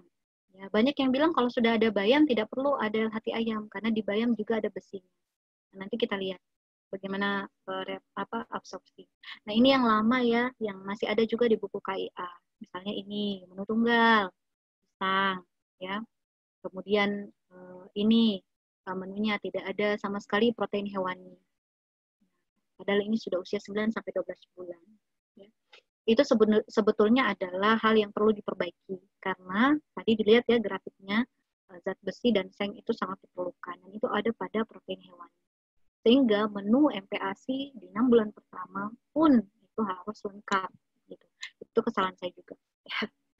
Nah ini guideline-nya WHO PAO ya bahwa daging ya uh, protein-protein hewani itu harus diberikan daily ya pada uh, apa namanya MPASI uh, sudah uh, merupakan saran pula dari WHO kemudian ini adalah persen bagaimana penyerapan besi pada eh, protein-protein uh, hewani. Kita lihat ya uh, yang 100% itu rata-rata adalah uh, protein hewani. Ya dari telur, dari susu, dari daging, dari ayam ya. Sementara kalau yang um, yang dari nabati ya atau yang dari adakah di sini sayuran? Nah yang dari nabati itu di bawah 100 ya. Bahkan kalau misalnya yang rice saja atau yang eh, apa namanya padi-padian ya atau serealia itu amat sangat sedikit ya jadi low. Jadi yang high high yang bagus itu semua di protein hewani. Itu juga uh, merupakan kesalahan saya di masa lalu ya dan saya rasakan juga sekarang. Nah lemak lemak itu juga penting ya pada MPASI uh, saya coba percepat. Lemak itu penting pada MPASI dan ini kita lihat ya uh, ini PMBA 2020 ya dan sekarang itu masih draft. Coba kita lihat uh, kebutuhannya ya. Uh, sorry uh, pengaturan menunya. Jadi kalau karbohidrat atau beras putih itu 10 gram. Proteinnya itu udah 25 gram. Ya protein dari MPASI ini sudah 25 gram Kemudian lemaknya, minyak kelapanya 5 gram, yang vitamin 10 gram. Ini macam-macam uh, makanan yang bisa kita berikan. Ya, uh, ada yang standar satu, ada yang standar dua pakai ikan, kemudian yang ketiga pakai telur, nah, yang keempat pakai daging ayam, yang kelima ini masih ada lanjutannya di terpotong ya. Nah, pakai daging sapi. Nah, semua ini memakai harus dan wajib ada protein hewan. Ya, uh, yang kemudian sebelum-sebelumnya itu kita sangat uh, apa namanya masih dari zaman dahulu sih dari zaman kita punya uh, orang tua itu ya menu tunggal pisang aja alpukat ya. Padahal sebetulnya yang tepat adalah kita memberikan menu lengkap. Ini asupan besi dan seng pada bayi ya 6 sampai 12 bulan. Kita lihat kalau dari MPASI itu kebutuhannya lebih tinggi. Ya uh, sorry kontribusinya lebih tinggi ya dibanding kemudian dari ASI sehingga memang harus dicukupkan dengan MPAS. Nah, ini uh, iron absorption ya. Jadi uh, bagaimana uh, penyerapan besi di dalam tubuh dari makanan. Nah, ternyata uh, daging itu 20 kali lebih tinggi penyerapannya dibanding dengan bayam. Yang menurut uh, persepsi orang kebanyakan oh bayam uh, apa saya sudah makan bayam berarti besi saya sudah cukup kan di bayam ada besi ya tapi penyerapan besinya itu lebih tinggi pada protein hewan. Ini salah satu penelitian ya yang dilaksanakan oleh dokter Clara ya dokter Yuli uh, menggunakan hati ayam. Dan bisa kita lihat ya bagaimana kemudian uh, peningkatan ya uh, seng ya pada uh, hati ayam ya dibanding dengan yang lain. Yang sereal ya single grain terus ini juga adalah yang yang selama ini beredar ya. Yang masih beredar dan sampai sekarang juga masih beredar. Nah sebetulnya ini ada uh, yang tidak tepat dan mesti diperbaiki dari protap uh, PMBA 2020 tadi. Kenapa? Karena di sini tuh tidak ada lemak, terus proteinnya terlalu tinggi ya sampai 30%, seratnya juga terlalu tinggi, kita atau konstipasi ya, karena biasanya kan begitu ya, maunya memberikan banyak uh, sayur misalkan seperti itu. Namun ya tentunya dengan rambu-rambu yang ada. Kemudian protein nabati itu mengandung fitat. Jadi protein nabati itu apalagi kalau kacang-kacangan ya, itu mengandung mengandung fitat yang bisa menghalangi uh, proses absorpsi dari besi Kemudian aman, nah tentu saja apalagi pada masa sekarang ya eh, keamanan makanan eh, atau keamanan MPAS itu harus selalu dijaga karena eh, itu berkaitan dengan bagaimana kebersihan, bagaimana dalam proses persiapan, bagaimana memasak dengan temperatur yang tepat dan menggunakan air dan bahan-bahan yang aman. Dan ini responsive feeding ya yang menurut saya paling berat. Makanya itu kemarin pada saat Ibu Trisna ya mengatakan bahwa bagaimana kalau kita melihat uh, apa namanya combine antara pola asuh uh, fisik yang kemudian didefinisikan oleh kedokteran dengan pola asuh psikologi. Karena betul ya. Biasanya uh, responsive feeding ini terhambat pada bagaimana psikologi dari ibu.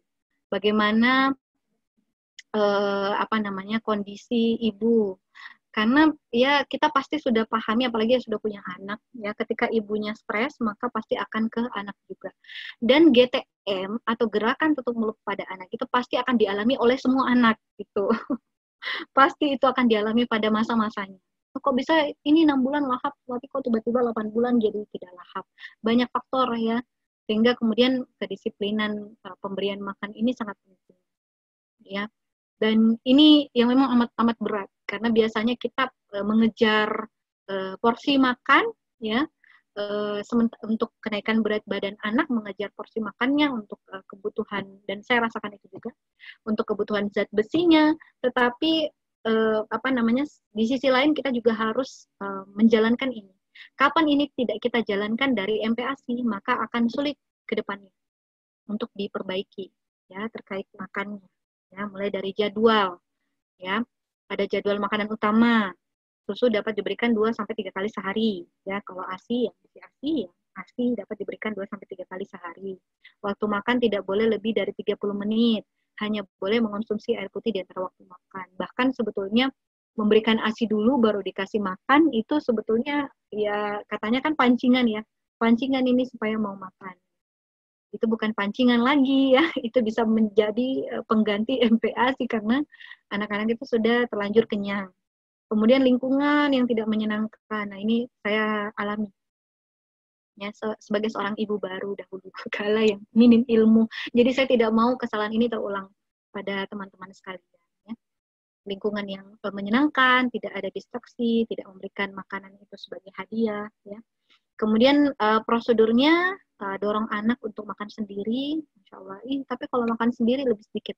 Uh, ini adalah pola yang mesti dibangun karena ya dan ini jatuh bangun ya pasti jatuh bangun. Saya juga mengalami itu sampai sekarang uh, saya sudah bisa mendapatkan uh, dampaknya pada anak ya jatuh bangun pasti jatuh bangun tapi kita usahakan responsif feeding ini bisa berjalan dengan kalau semua yang tadi saya sebutkan mulai dari uh, hamil mulai dari melahirkan kasih IMD mulai dari uh, kemudian infan dikasih ASI eksklusif dan dilanjutkan dengan MPASI yang tepat, maka itu adalah monitoring yang sangat baik ya, uh, giving food yang sangat baik untuk uh, mendukung 1000 HPK ini.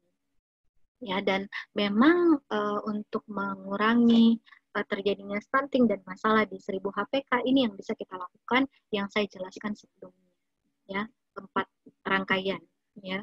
Nah, kemudian tentu saja ada peran-peran yang luar biasa ya dari dan dukungan yang luar biasa, juga uh, ketelatenan dan uh, kesadaran sih ya, karena kesadaran ini yang akan mendorong kita untuk melaksanakan. Kalau tidak sadar ya itu dia problemnya. Maksudnya kalau belum paham atau kemudian menyepelekan, menurut saya itu problem yang bisa yang bisa menghambat ya. Nah, imunisasi terlepas dari ada anti vaksin dan vaksin di luar sana, pro vaksin dan anti vaksin di luar sana, menurut saya ini sangat penting uh, ya untuk uh, di untuk mendukung agar tidak terjadi penyakit infeksi yang bisa berakibat pada karena penyakit infeksi itu akan berhubungan langsung dengan asupan dan pasti akan berkaitan dengan uh, gizi kurang ya uh, misalnya saja ya meskipun ini paling di uh, apa namanya penyakit yang semuanya bisa alami meskipun jadi imunisasi misalnya diare ya. Karena tadi keamanan makanan yang ini uh, diare kalau anak diare ya pasti itu karena infeksi ya pasti berat badannya turun ya. Dan itu biasanya turunnya tidak tanggung-tanggung. Sampai saya dulu itu wah wais gitu ya yang berat badannya tidak pernah di bawah ini tiba-tiba di grow chart itu tidak pernah di bawah di kuning ya. Sekarang dia di kuning ya dan saya harus mengembalikan itu dengan proses yang masya Allah. Tapi ya itu dia ya. Makanya dari dari kemudian saya memahami bahwa oh anak itu amanah memang luar biasa amanahnya ya. Makanya hadiahnya surga bukan power bank. Luar biasa karena mulai dari ayahnya ya sampai kemudian uh, pendidikannya itu menjadi tanggung jawab yang luar biasa ya. Nah terakhir ya mudah-mudahan bisa ini jadi terakhir kita lihat bahwa memang masalah gizi ini ya uh, yang merupakan penyebab langsungnya ini asupan gizi sama penyakit infeksi dan ini yang biasanya diselesaikan oleh uh, bagian kesehatan, ya ini hanya berkontribusi 30% terhadap penyelesaian masalah ini, masalah gizi. Kenapa? Karena punya penyebab tidak langsung. Apa penyebab tidak langsungnya? Akses pangan, pola asuh, sanitasi, dan akar masalahnya adalah ini. Ya, akar masalahnya itu sistem. Ya, jadi kita pahami tadi dengan baik, tetapi ada memang kondisi yang kemudian hasil dari sistem yang perlu untuk diubah. Gitu ya. Misalnya kalau eh, apa namanya? saat ini bagaimana kemudian kebijakan ekonomi ya yang kapitalistik misalkan atau kebijakan politik yang oportunistik ya dan lain sebagainya, maka itu menjadi akar masalah. Ya saya bisa, saya mau memberikan MPASI yang cukup untuk anak saya, tapi nggak punya problem, akar masalah. ya, dan ini masalah sistem yang sebetulnya tidak tidak apa namanya, tidak bisa kita remehkan, tidak bisa kita abaikan. Ya, makanya pada saat disadari hal ini, Eh, intervensi itu kemudian dilakukan bukan hanya intervensi spesifik ya atau hanya menyelesaikan masalah ini ya tapi juga intervensi sensitif ya. Tetapi problem ini akan terus terjadi ya, masalah gizi ini akan terus ada kalau ini tidak diselesaikan. Kalau akar masalahnya tidak diperbaiki tidak diubah ya.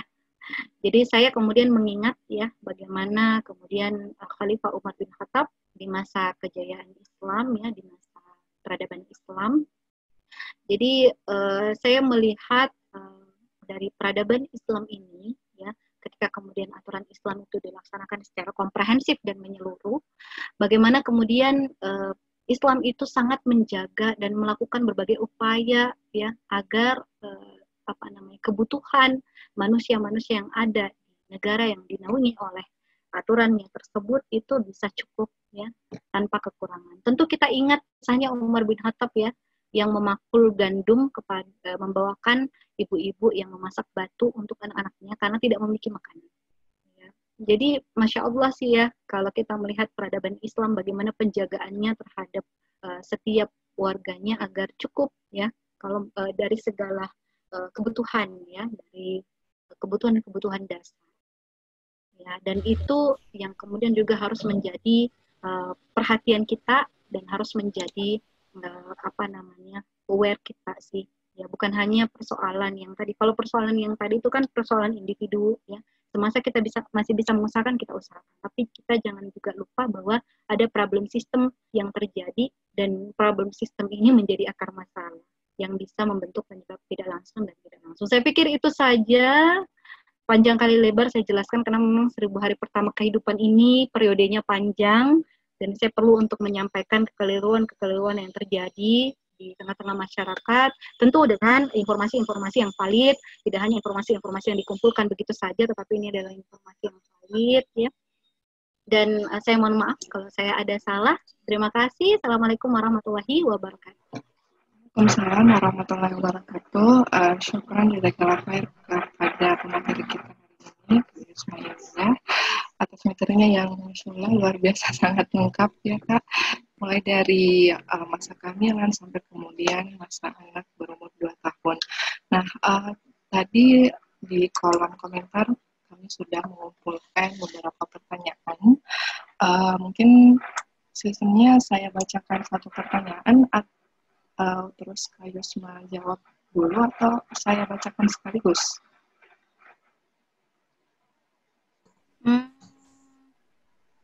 Mungkin panel saja kalau tidak begitu banyak kita panel. Kalau misalnya agak banyak kita satu persatu. Uh, ya, di sini ada lima pertanyaan kak. Gimana kita? Eh? Ya, jadi pertanyaan. Lima pertanyaan ya? Iya, ada lima pertanyaan. Hmm, boleh barangkali di ini saja ya, satu persatu atau lihat siapa tahu ada yang sama. sama. Oh ya, tapi yang kemudian yang sama saya jawab dulu. Ya, sebenarnya ini core-nya beda-beda kak ya. Jadi yang pertama itu uh, dari Ibu Nur Rahmi Hashim ya. Pertanyaannya, apakah kekurangan gizi saat hamil itu berpengaruh pada kelahiran prematur? Ya. Oke, okay. saya jawab dulu ya, kayaknya ya. Iya. Karena uh, supaya tidak. Mm -mm. Jadi uh, ya tadi dari penjelasan saya apakah kekurangan gizi pada ibu hamil itu bisa berpengaruh tadi terhadap prematur ya terhadap lahir prematur. Tadi saya sudah uh, menjelaskan ya bahwa uh, sangat kalau di dikatakan apa berpengaruh sangat berpengaruh ya karena uh, saya sempat tadi menjelaskan tentang anemia ya yang ternyata memiliki dampak ya salah satunya adalah lahir prematur. Jadi anemia defisiensi besi pada ibu hamil yang sebetulnya sangat sangat gampang untuk dicegah. Gitu ya, sangat uh, simple pencegahannya. Ya kalau memang tidak bisa dibut, uh, dipenuhi dari kebutuhan makan maka kemudian kita bisa penuhi dari uh, program tablet tambah darah. Dan itu bukan sesuatu yang sulit ya cuma memang konsisten dan itu perlu di, kita bangun tapi dari frame bahwa apakah itu penting atau tidak. Nah, dari informasi yang saya berikan tadi mengenai pentingnya ya, saya berharap kemudian uh, kita jadi uh, mau dan tahu ya, tahu dan mau. Karena sudah tahu maka kemudian mau untuk uh, apa namanya mengaplikasikan ya dengan konsumsi tablet tambah darah. Ya karena masya Allah tadi saya sudah gambarkan ya bagaimana dampaknya. Terutama salah satunya adalah pada bayi lahir prematur. Ya, karena dari kemudian uh, masa kehamilan itu anemia, maka bayi yang uh, bisa terjadi kelahiran prematur. Ya, dampak yang lebih besarnya tadi saya sudah sampaikan. Ya. Kalau secara uh, singkat, secara sederhana seperti itu ya, ya dia berdampak. Begitu deh. Oh iya, uh, itu jawaban untuk pertanyaan dari Ibu Rahmi tadi terkait dengan apakah kekurangan gizi saat hamil itu berpengaruh pada kelahiran prematur. Nah, untuk pertanyaan kedua itu datang dari Ibu Ika Fitriani. Jadi yang pertama, apa sebenarnya stunting itu? Terus, apakah semua anak yang pendek itu kita sebut stunting? Bagaimana dengan anak yang pendek karena ada faktor keturunan? Uh, solusi untuk ibu yang telah melewati hmm. 1000 HPH dan bagaimana solusi untuk ibu yang tidak bisa menyusui di masa 0 sampai 6 bulan disebabkan karena ASI tidak keluar atau sakit. Syukran, Bu. Itu Kak, pertanyaan kedua ada beberapa poin. Oke, okay. wah ini kompleks ini. Iya. Ibu Ika, Masya Allah, Ibu Ica. Oke, okay. Masya Allah, Ibu Ica. Uh, ini Bu Ica, gurunya Honsa ini. Luar biasa semangatnya, Masya Allah. Sudah punya banyak bekal Ibu Ica ya. Jadi, um, pertanyaannya tadi, saya buka dulu chatnya ya, biar saya bisa. Uh, jadi mulai dari apa stunting itu sebenarnya. Baik. Jadi, uh, kalau kita kemudian lihat di grow chart, ya, uh, stunting itu memang uh, tidak bisa kita katakan dengan stunting ya, tidak bisa kita katakan orang itu stunting dengan melihat. Ya, jadi stunting itu butuh uh, apa namanya pengukuran ya. Uh, pengukuran apa? Pengukuran tinggi badan.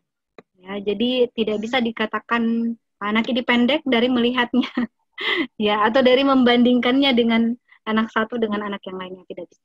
Ya, karena stunting itu adalah uh, apa namanya melalui proses uh, pengukuran. Jadi kalau dikatakan apakah semua anak yang pendek itu kita sebut stunting, iya kalau dilakukan uh, pengukuran. Kalau cuma mata mata meter nggak bisa, ya nggak bisa kita katakan itu adalah stunting. Jadi disebut stunting kalau kita ukur. Caranya mengukur bagaimana? Ya kita mengukur tinggi badan. Ya. Kemudian setelah mengukur tinggi badan, kita uh, masukkan ke chart, ya, grow chart bisa juga memakai KMS, bisa juga memakai Primaku. Sekarang itu ada di handphone aplikasi Primaku yang kita bisa masukkan tinggi badan anak ya dan di situ langsung kelihatan growth chartnya. Kalau kemudian uh, apa namanya uh, mengalami uh, apa standar deviasinya itu di bawah, maka itulah yang kemudian dikatakan stunting. Ya. Tapi itu memang bagusnya dijelaskan pakai growth chart ya kalau untuk uh, lebih detailnya. Nah, bagaimana dengan anak yang pendek karena ada faktor keturunan? Jadi sebetulnya uh, apa namanya uh, genetik ya, genetik itu uh, dengan uh, lifestyle ya. Kalau bisa dikatakan demikian sih ya. Genetik dan lifestyle. Jadi kalau genet genetik itu apakah berpengaruh? Berpengaruh. Tapi uh, hal itu bisa diubah ya. Artinya apakah kemudian ketika bapak saya pendek maka saya juga berpotensi pendek? Iya berpotensi ya. Tetapi itu bisa diubah dengan melakukan langkah-langkah seribu hari pertama kehidupan sesuai dengan yang saya sampaikan tadi ya. Mulai dari uh, proses kehamilan sampai da sampai dengan uh, MPASI yang tepat. Jadi itu bisa diperbaiki bisa diubah ya. Bahkan sih se uh, sebetulnya kalau kita cuma yang uh, apa namanya yang kita harus uh, jadikan perhatian juga adalah itu tadi ya bagaimana pemenuhan 1000 HPK ini untuk uh, apa namanya uh, pembentukan uh, otak yang lebih baik gitu ya karena tadi saya sudah memperlihatkan bagaimana perbedaan antara otak yang stunting dengan yang tidak stunting ya bagaimana kualitasnya gitu. jadi kalau misalnya dikatakan karena mungkin kita masih ingat ya orang-orang Jepang Jepang dulu kayak gimana pendek-pendek kecil-kecil ya tapi sekarang masya Allah tinggi-tinggi ya jadi itu bisa dilakukan perubahan dengan ya menjalankan 1000 HPK ini sesuai dengan yang saya jelaskan tadi ya mulai dari masa kehamilan. Kemudian solusi untuk ibu yang telah melewati 1000 HPK dan bagaimana solusi untuk ibu yang tidak menyusui di masa oh, ya, solusi untuk ibu yang telah melewati 1000 HPK. Oh. Masya Allah, ini juga saya alami ya, misalnya bagaimana kalau kita sudah lewat 1000 HPK, tentu saja kita tetap memantau, jadi uh, memantau pertumbuhan anak-anak itu harus tetap dilakukan bahkan setelah masa 1000 HPK. Ya, baik itu berat badan, uh, tinggi badan, ya, kita tetap uh, memantaunya. Gitu. Kalaupun ada yang terlewatkan dan telah terjadi, maka yang bisa kita lakukan adalah mengejar mengejar dengan stimulasi, mengejar apa namanya berat badan ya meskipun kita uh, disampaikan tadi bahwa ada hal yang kemudian uh, irreversible, tetapi kalau memang telah terjadi maka nothing to lose ya insya Allah kita bisa melakukan berbagai macam stimulasi uh, dan kita juga bisa apa namanya mengejar asupan. Ya yang jelas uh, tetap kita upayakan meskipun um, sudah lewat ya 1000 HPK ini. Kalau memang lewat tapi tidak ada problem ya seperti itu ya. Kalau lewat tapi tidak ada problem, maka kemudian ya alhamdulillah ya. ya, alhamdulillah. Cuman jangan jadikan itu sebagai patokan. Itu yang saya pengen stressing gitu sama teman-teman. Maksudnya maka stressing ini bahwa jangan jadikan uh, yang sudah melewati itu sebagai patokan. Dia dia sudah dia begitu dan anaknya tidak jin. Jangan karena kita beda kondisinya kondisi kita itu beda-beda, tidak bisa kita samakan dan kita tidak tahu. Soalnya yang nampak cuma di luar saja. Gitu. Mungkin dia telah menstimulasinya dengan baik, mungkin dia ya jadi eh, apa namanya kalau misalnya kita bisa cegah eh, 1000 HPK ini dari awal ya mari kita lakukan. Ya, jangan menyamakan antara satu kondisi dengan kondisi lain karena itu bisa mempengaruhi juga ya dan menghambat juga. Bagaimana solusi untuk ibu yang tidak menyusui di masa 0 sampai 6 bulan disebabkan karena ASI yang tidak keluar atau sakit? Masya Allah. Jadi banyak sekali sebetulnya uh, penjelasan ya kalau kita uh, di apa namanya bahkan sekarang itu kita sudah bisa berselancar di berbagai macam informasi yang uh, sangat mudah untuk kita dapatkan. Jadi kalau memang tidak keluar ada beberapa hal yang uh, mesti kita uh, kalau dari penjelasannya dokter yang terkenal ya, dokter Tiwi. Kalau dari penjelasannya itu, uh, yang pertama memang yang harus dilakukan adalah uh, bagaimana kemudian skin to skin tetap harus jalan. Jadi uh, sampai dikatakan oleh dokter Tiwi tidak pernah itu ada uh, anak yang lewat dari dua hari.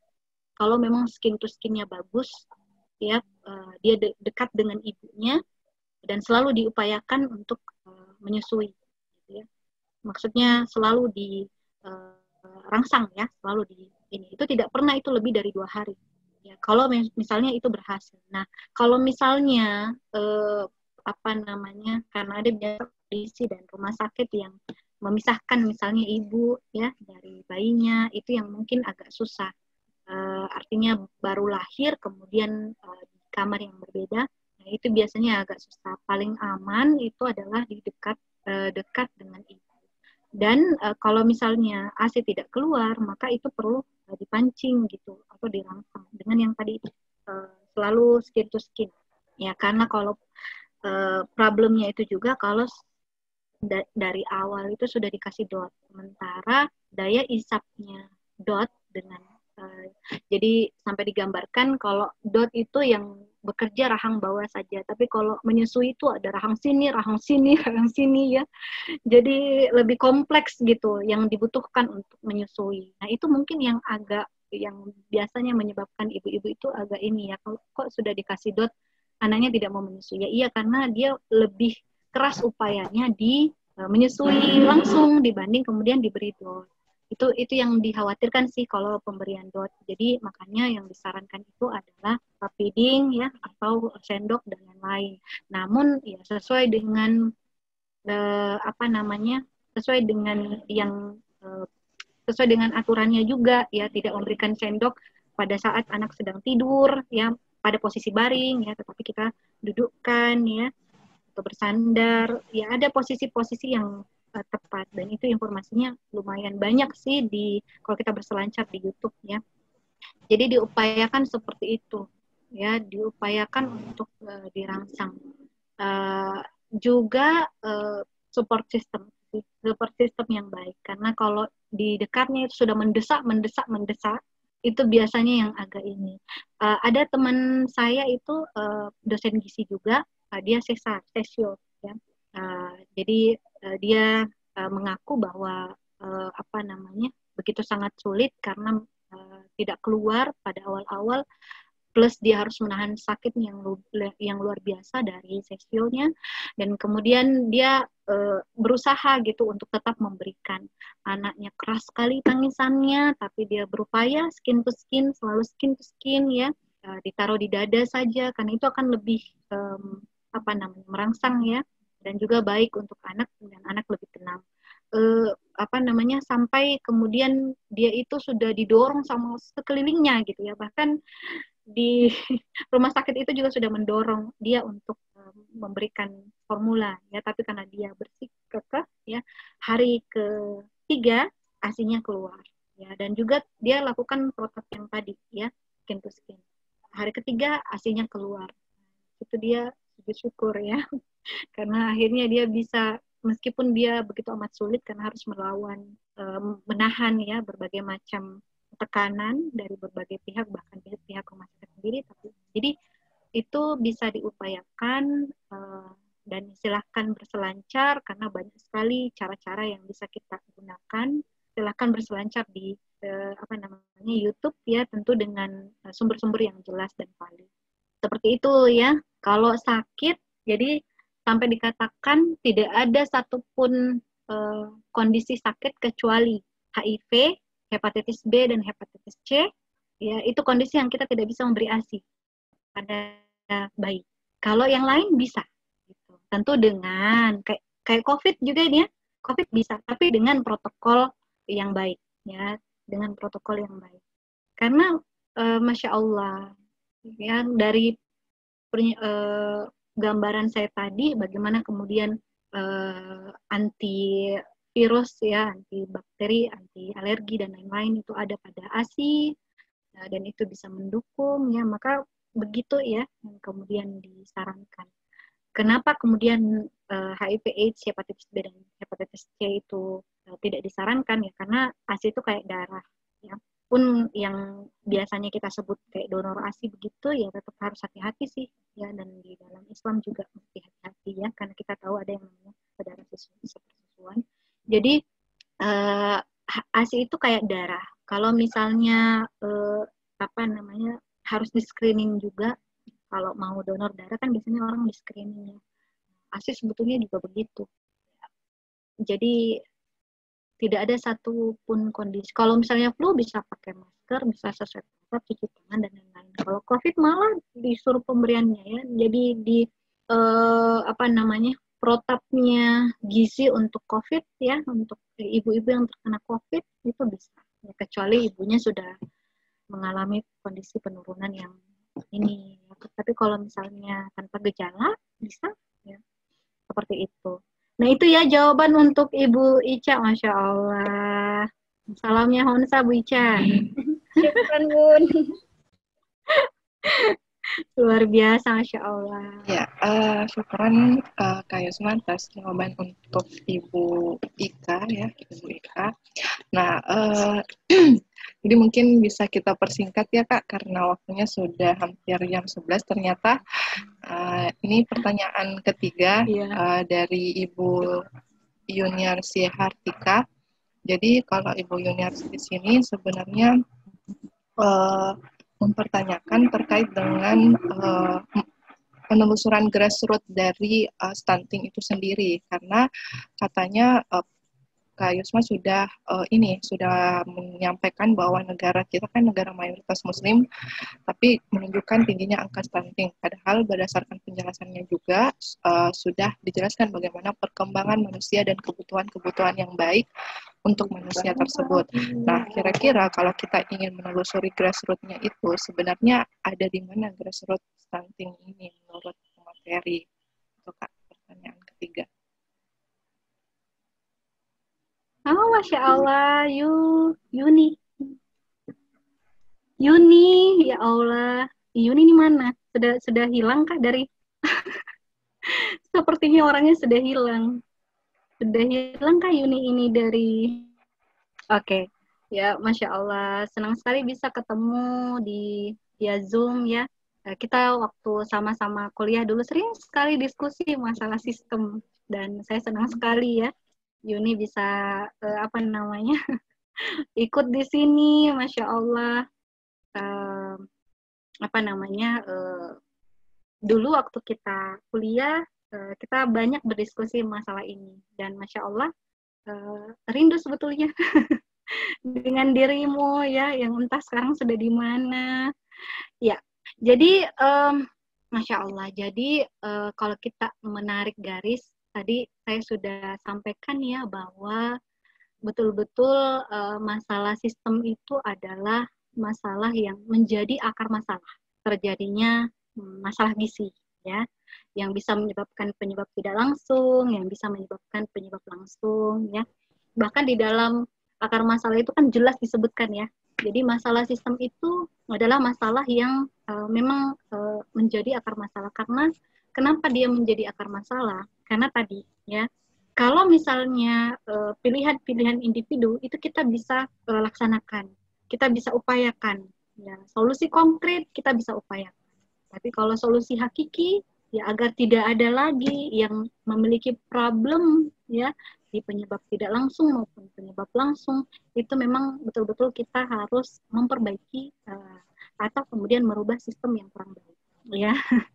Dan uh, di uh, apa namanya dalam menjawab uh, pertanyaan ini tuh saya jadi uh, apa uh, teringat uh, diskusi kita beberapa tahun silam. Sudah 10 tahun lebih di Uni bahwa memang uh, apa namanya uh, pada sistem kapitalis ya pada sistem kapitalisme itu memiliki banyak sekali problem. Mulai dari kebijakan ekonomi yang kapitalis ya pemilik-pemilik modal yang berkuasa kemudian juga uh, kebijakan politik yang oportunistik ya uh, pendidikan yang materialis ya uh, apa namanya sistem sosial yang hedon ya. Itu semua berperan pada seluruh aspek kehidupan termasuk juga masalah itu ya. Sehingga kalau mau dicari benang merahnya di mana uh, jawaban saya tetap sama dengan beberapa tahun silam ini ya sayangnya tidak ada sudah tidak ada di forum ini padahal saya mendengar suaranya. Sama dengan beberapa tahun silam ya bahwa memang perba perbaikan sistem itu diperlukan ya perbaikan perubahan sistem itu diperlukan. Dan uh, kalau menyangkut perubahan sistem saya pasti akan memberikan contoh bagaimana peradaban Islam ya. Kenapa sih banyak uh, kita ini negara dengan mayoritas muslim? Tapi kemudian ada problem ini gitu. Padahal sudah jelas dasarnya kita itu strong way-nya kita itu luar biasa. Ya, karena mungkin kita tidak memakai strong way itu. Gitu. Atau dalam skala uh, negara itu kita tidak memakai strong way itu.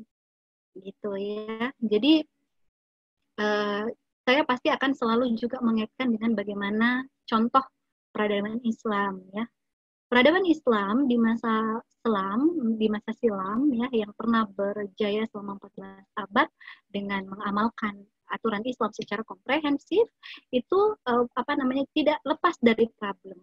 Ya, tidak juga lepas dari problem. Tetapi karena sistemnya yang kokoh, sistemnya yang utuh, maka segala problem dapat diselesaikan ya. karena sistemnya yang uh, ekonominya Islami dijalankan sesuai dengan ekonomi Islam, kemudian dan ini menaungi bukan cuma Muslim ya, tapi berbagai macam.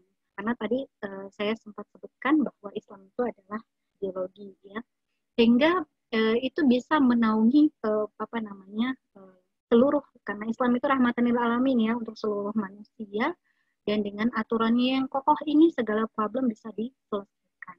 Sehingga tidak akan sekedar menambal sulam masalah, tetapi juga menyelesaikannya secara komprehensif. Aduh, sayang sekali nih Yuni tidak ada ya. Barangkali masalah jaringan atau apa. Ya itu uh, siapa namanya? Ya. Uh, moderator. Ya, uh, syukuran Kak untuk jawabannya. Uh, selanjutnya kita langsung lanjut ke pertanyaan berikutnya dari Ibu Eli ya. Jadi apakah stunting itu bisa diperbaiki dan parameter apa yang menjadi acuan seorang anak mengalami stunting atau tidak? Untuk iya. Baik ya. E, jadi sekali lagi mungkin saya e, jelaskan ya bahwa memang untuk mengetahui parameter itu kita harus punya yang namanya growth chart. Growth chart saya bisa dapat di mana? Uh, bisa didapatkan di KMS. Di bisa di-download ya KMS-nya dan di situ ada grow chart.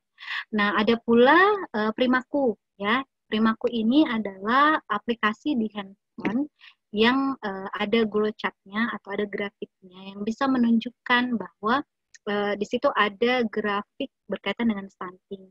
Jadi setelah kita kemudian mengukur tinggi badan, ya, kemudian dikaitkan dengan usianya dan kemudian kita tarik garis sesuai dengan grafik tersebut, di situ akan terlihat. Ada juga tabel growth chart ya, eh, tabel pertumbuhan dari WHO ya untuk tinggi badan menurut usia. Dan itu sangat mudah sekali diakses ya. Kita sangat mudah mengakses. Kalau kita mau mengakses itu sangat mudah diakses. Tentu dengan kita tahu dulu berapa tinggi badan anak kita ya sampai ketika saya lihat programnya masya Allah tuh di Palabong Bajo ya uh, sampai dibagikan sekitar berapa berapa poster ya sekitar puluhan ribu poster uh, tinggi badan dan di situ ada edukasi yang luar biasa mengenai stunting itu cukup memberikan pengaruh ya terhadap uh, pengetahuan dan kepedulian masyarakat sekitar tentang stunting.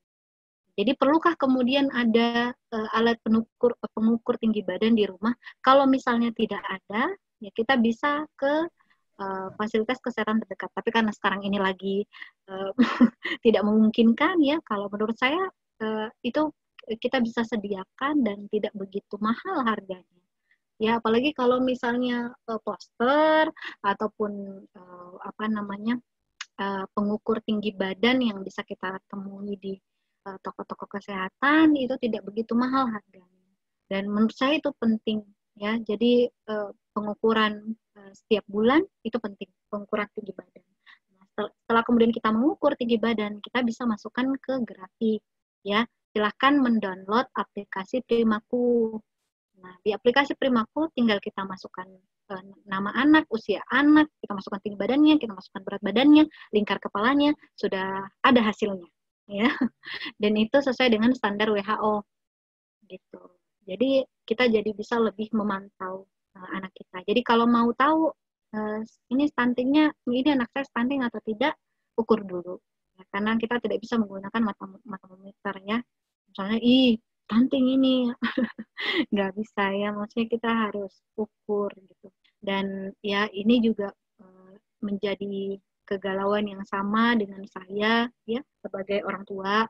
Ya yang kemudian selalu aware dan selalu uh, khawatir apalagi anak saya itu tidak begitu uh, signifikan bukan tidak signifikan sih ya kenaikan berat badannya itu ya jadi meskipun dia masih di uh, chart yang normal kenapa bisa normal ya? Silahkan dilihat di grafik primaku ya kalau atau grafik KMS atau grafik WHO untuk growth chart itu bisa diakses sangat mudah sekali di Google ya.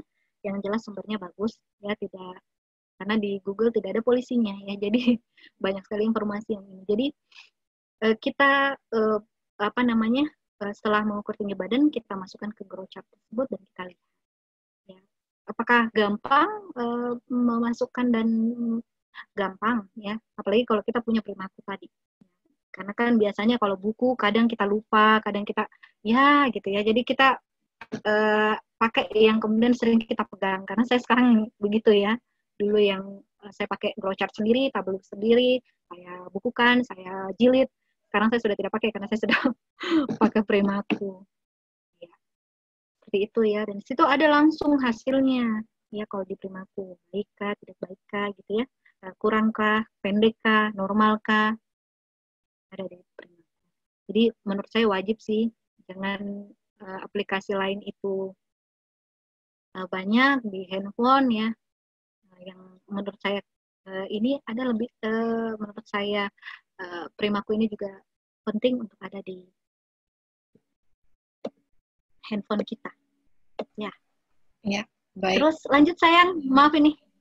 Uh, selanjutnya kak uh, mohon penjelasan cara mengatasi anak yang malas makan, terutama untuk makan sayuran, ikan, ataupun sumber protein lainnya. Itu dari Ibu Rahma, Kak.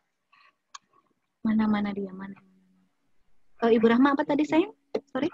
Uh, mohon penjelasan cara mengatasi anak yang malas makan, terutama untuk makan sayuran, ikan, ataupun sumber protein lainnya. Nah, setelah itu toh Kak okay. ada pertanyaan juga peran yeah. pemerintah sudah maksimalkah uh -huh. dalam mengatasi masalah-masalah gizi ini? Masya Allah. Ya. Siap. Nah, uh, pertanyaannya Rahma. Ya. Sama. Pokoknya ya kita memiliki problem yang sama ya. Memang uh, masalah makan itu akan ada di dalam proses kita memberi makan yang paling penting adalah kita tidak menyerah dan tetap disiplin. Kalau menurut saya, ya, kapan saya longgar, kapan saya ini, uh, ya pasti lebih lebih parah lagi ya asupannya. Jadi malas makan sayur, ikan atau sumber protein lainnya, kalau anaknya uh, sudah bisa dibacakan buku, ya kita ya kita maksimalkan yang seperti itu. Kita maksimalkan yang bisa kita maksimalkan dibacakan buku yang berkaitan dengan informasi tersebut, buku yang menarik tentunya. Kemudian uh, diputarkan video ya bahwa sayur itu penting. Uh, beragam edukasi bisa kita berikan ke anak supaya dia juga tahu kenapa sih saya harus makan sayur, kenapa saya harus makan ini ya. Terus juga hmm, apa namanya uh, ragam ya beragam. Kalau memang dia uh, tidak suka makan sayur yang ini, kita coba yang ini, atau kita coba lewat pengolahan yang lain, ya. Uh, maka saya katakan memang dari awal ya bahwa proses ini itu tidak mudah. Sama-sama kita merasakan sulitnya dan sama-sama kita berupaya ya karena kita juga pasti punya titik-titik yang di mana kita ini ya. Ya sama-sama kita berupaya. Begitu jatuh kita bangun lagi. Begitu jatuh kita bangun lagi. Yang penting jatuh jangan jatuh terus. Jadi sama-sama sayangnya. Jadi saya juga demikian. Apalagi anak kedua saya ini saya luar biasa. Dapat anunya ya. Tantangannya sangat berbeda dengan anak yang pertama ya. Dan memang anak itu berbeda-beda. Jadi ya saya berupaya ya bagaimana ininya. Jadi ada kadang dia lahap di sini, besok dia tidak lahap dan itulah hal yang bisa kita ini ya. Kalau misalnya memang dari makanan itu tidak cukup ya, jangan ragu untuk memberikan suplemen. Menurut saya ya, karena kita kan yang paling tahu ini anak tak ini cukup atau tidak. Tadi ada saya berikan apa namanya eh, bagaimana porsi yang tepat untuk anak ya PMB, PMBA sampai dia usia 2 tahun sudah ada porsi yang tepat di situ. Kalau misalnya kurang dari itu, jangan segan-segan untuk memberikan, kalau saya ya, jangan segan-segan memberikan suplementasi, karena kita yang paling tahu, ya anak kita butuh atau tidak. Ya. Seperti itu ya, kemudian kalau apakah pemerintah sudah maksimal ya di zaman COVID ini, jadi memang dari awal kemudian ada eh, apa namanya, COVID, maka pemerintah melalui gizi ini mengeluarkan uh, berbagai macam protap ya yang uh, dikhususkan untuk 1000 HPK ini. Mulai dari kehamilan mulai dari bahkan dari remaja ya pemberian tablet tambah darah pada remaja uh, kehamilan ya dan sampai kemudian ke, kepada PMBA itu semua sudah ada protapnya bagaimana pemberiannya. Cuma sekali lagi sayang uh, saya selalu mengingatkan bahwa kenapa kemudian uh, problem uh, dengan program uh, kesehatan hanya menyelesaikan 30% karena tadi ya Ada penyebab langsung, ada penyebab tidak langsung, dan ada akar masalah. Jadi, tenaga kesehatan atau program-program kesehatan itu hanya bisa menyelesaikan problem di uh, penyebab langsung dan tidak langsung. Itu pun tidak semua ya penyebab tidak langsungnya. Se selebihnya akar masalah itu tidak bisa diselesaikan secara parsial, butuh uh, integrasi. Ya, butuh penyelesaian secara mendasar. Itu. Itu iya. jawaban saya. Iya. Jadi uh, sudah dijawab semua uh, pertanyaan yang masuk oleh pemateri kita hari ini. Semoga uh, jawaban yang diberikan oleh pemateri kita itu bisa memuaskan ya teman-teman uh, yang bertanya.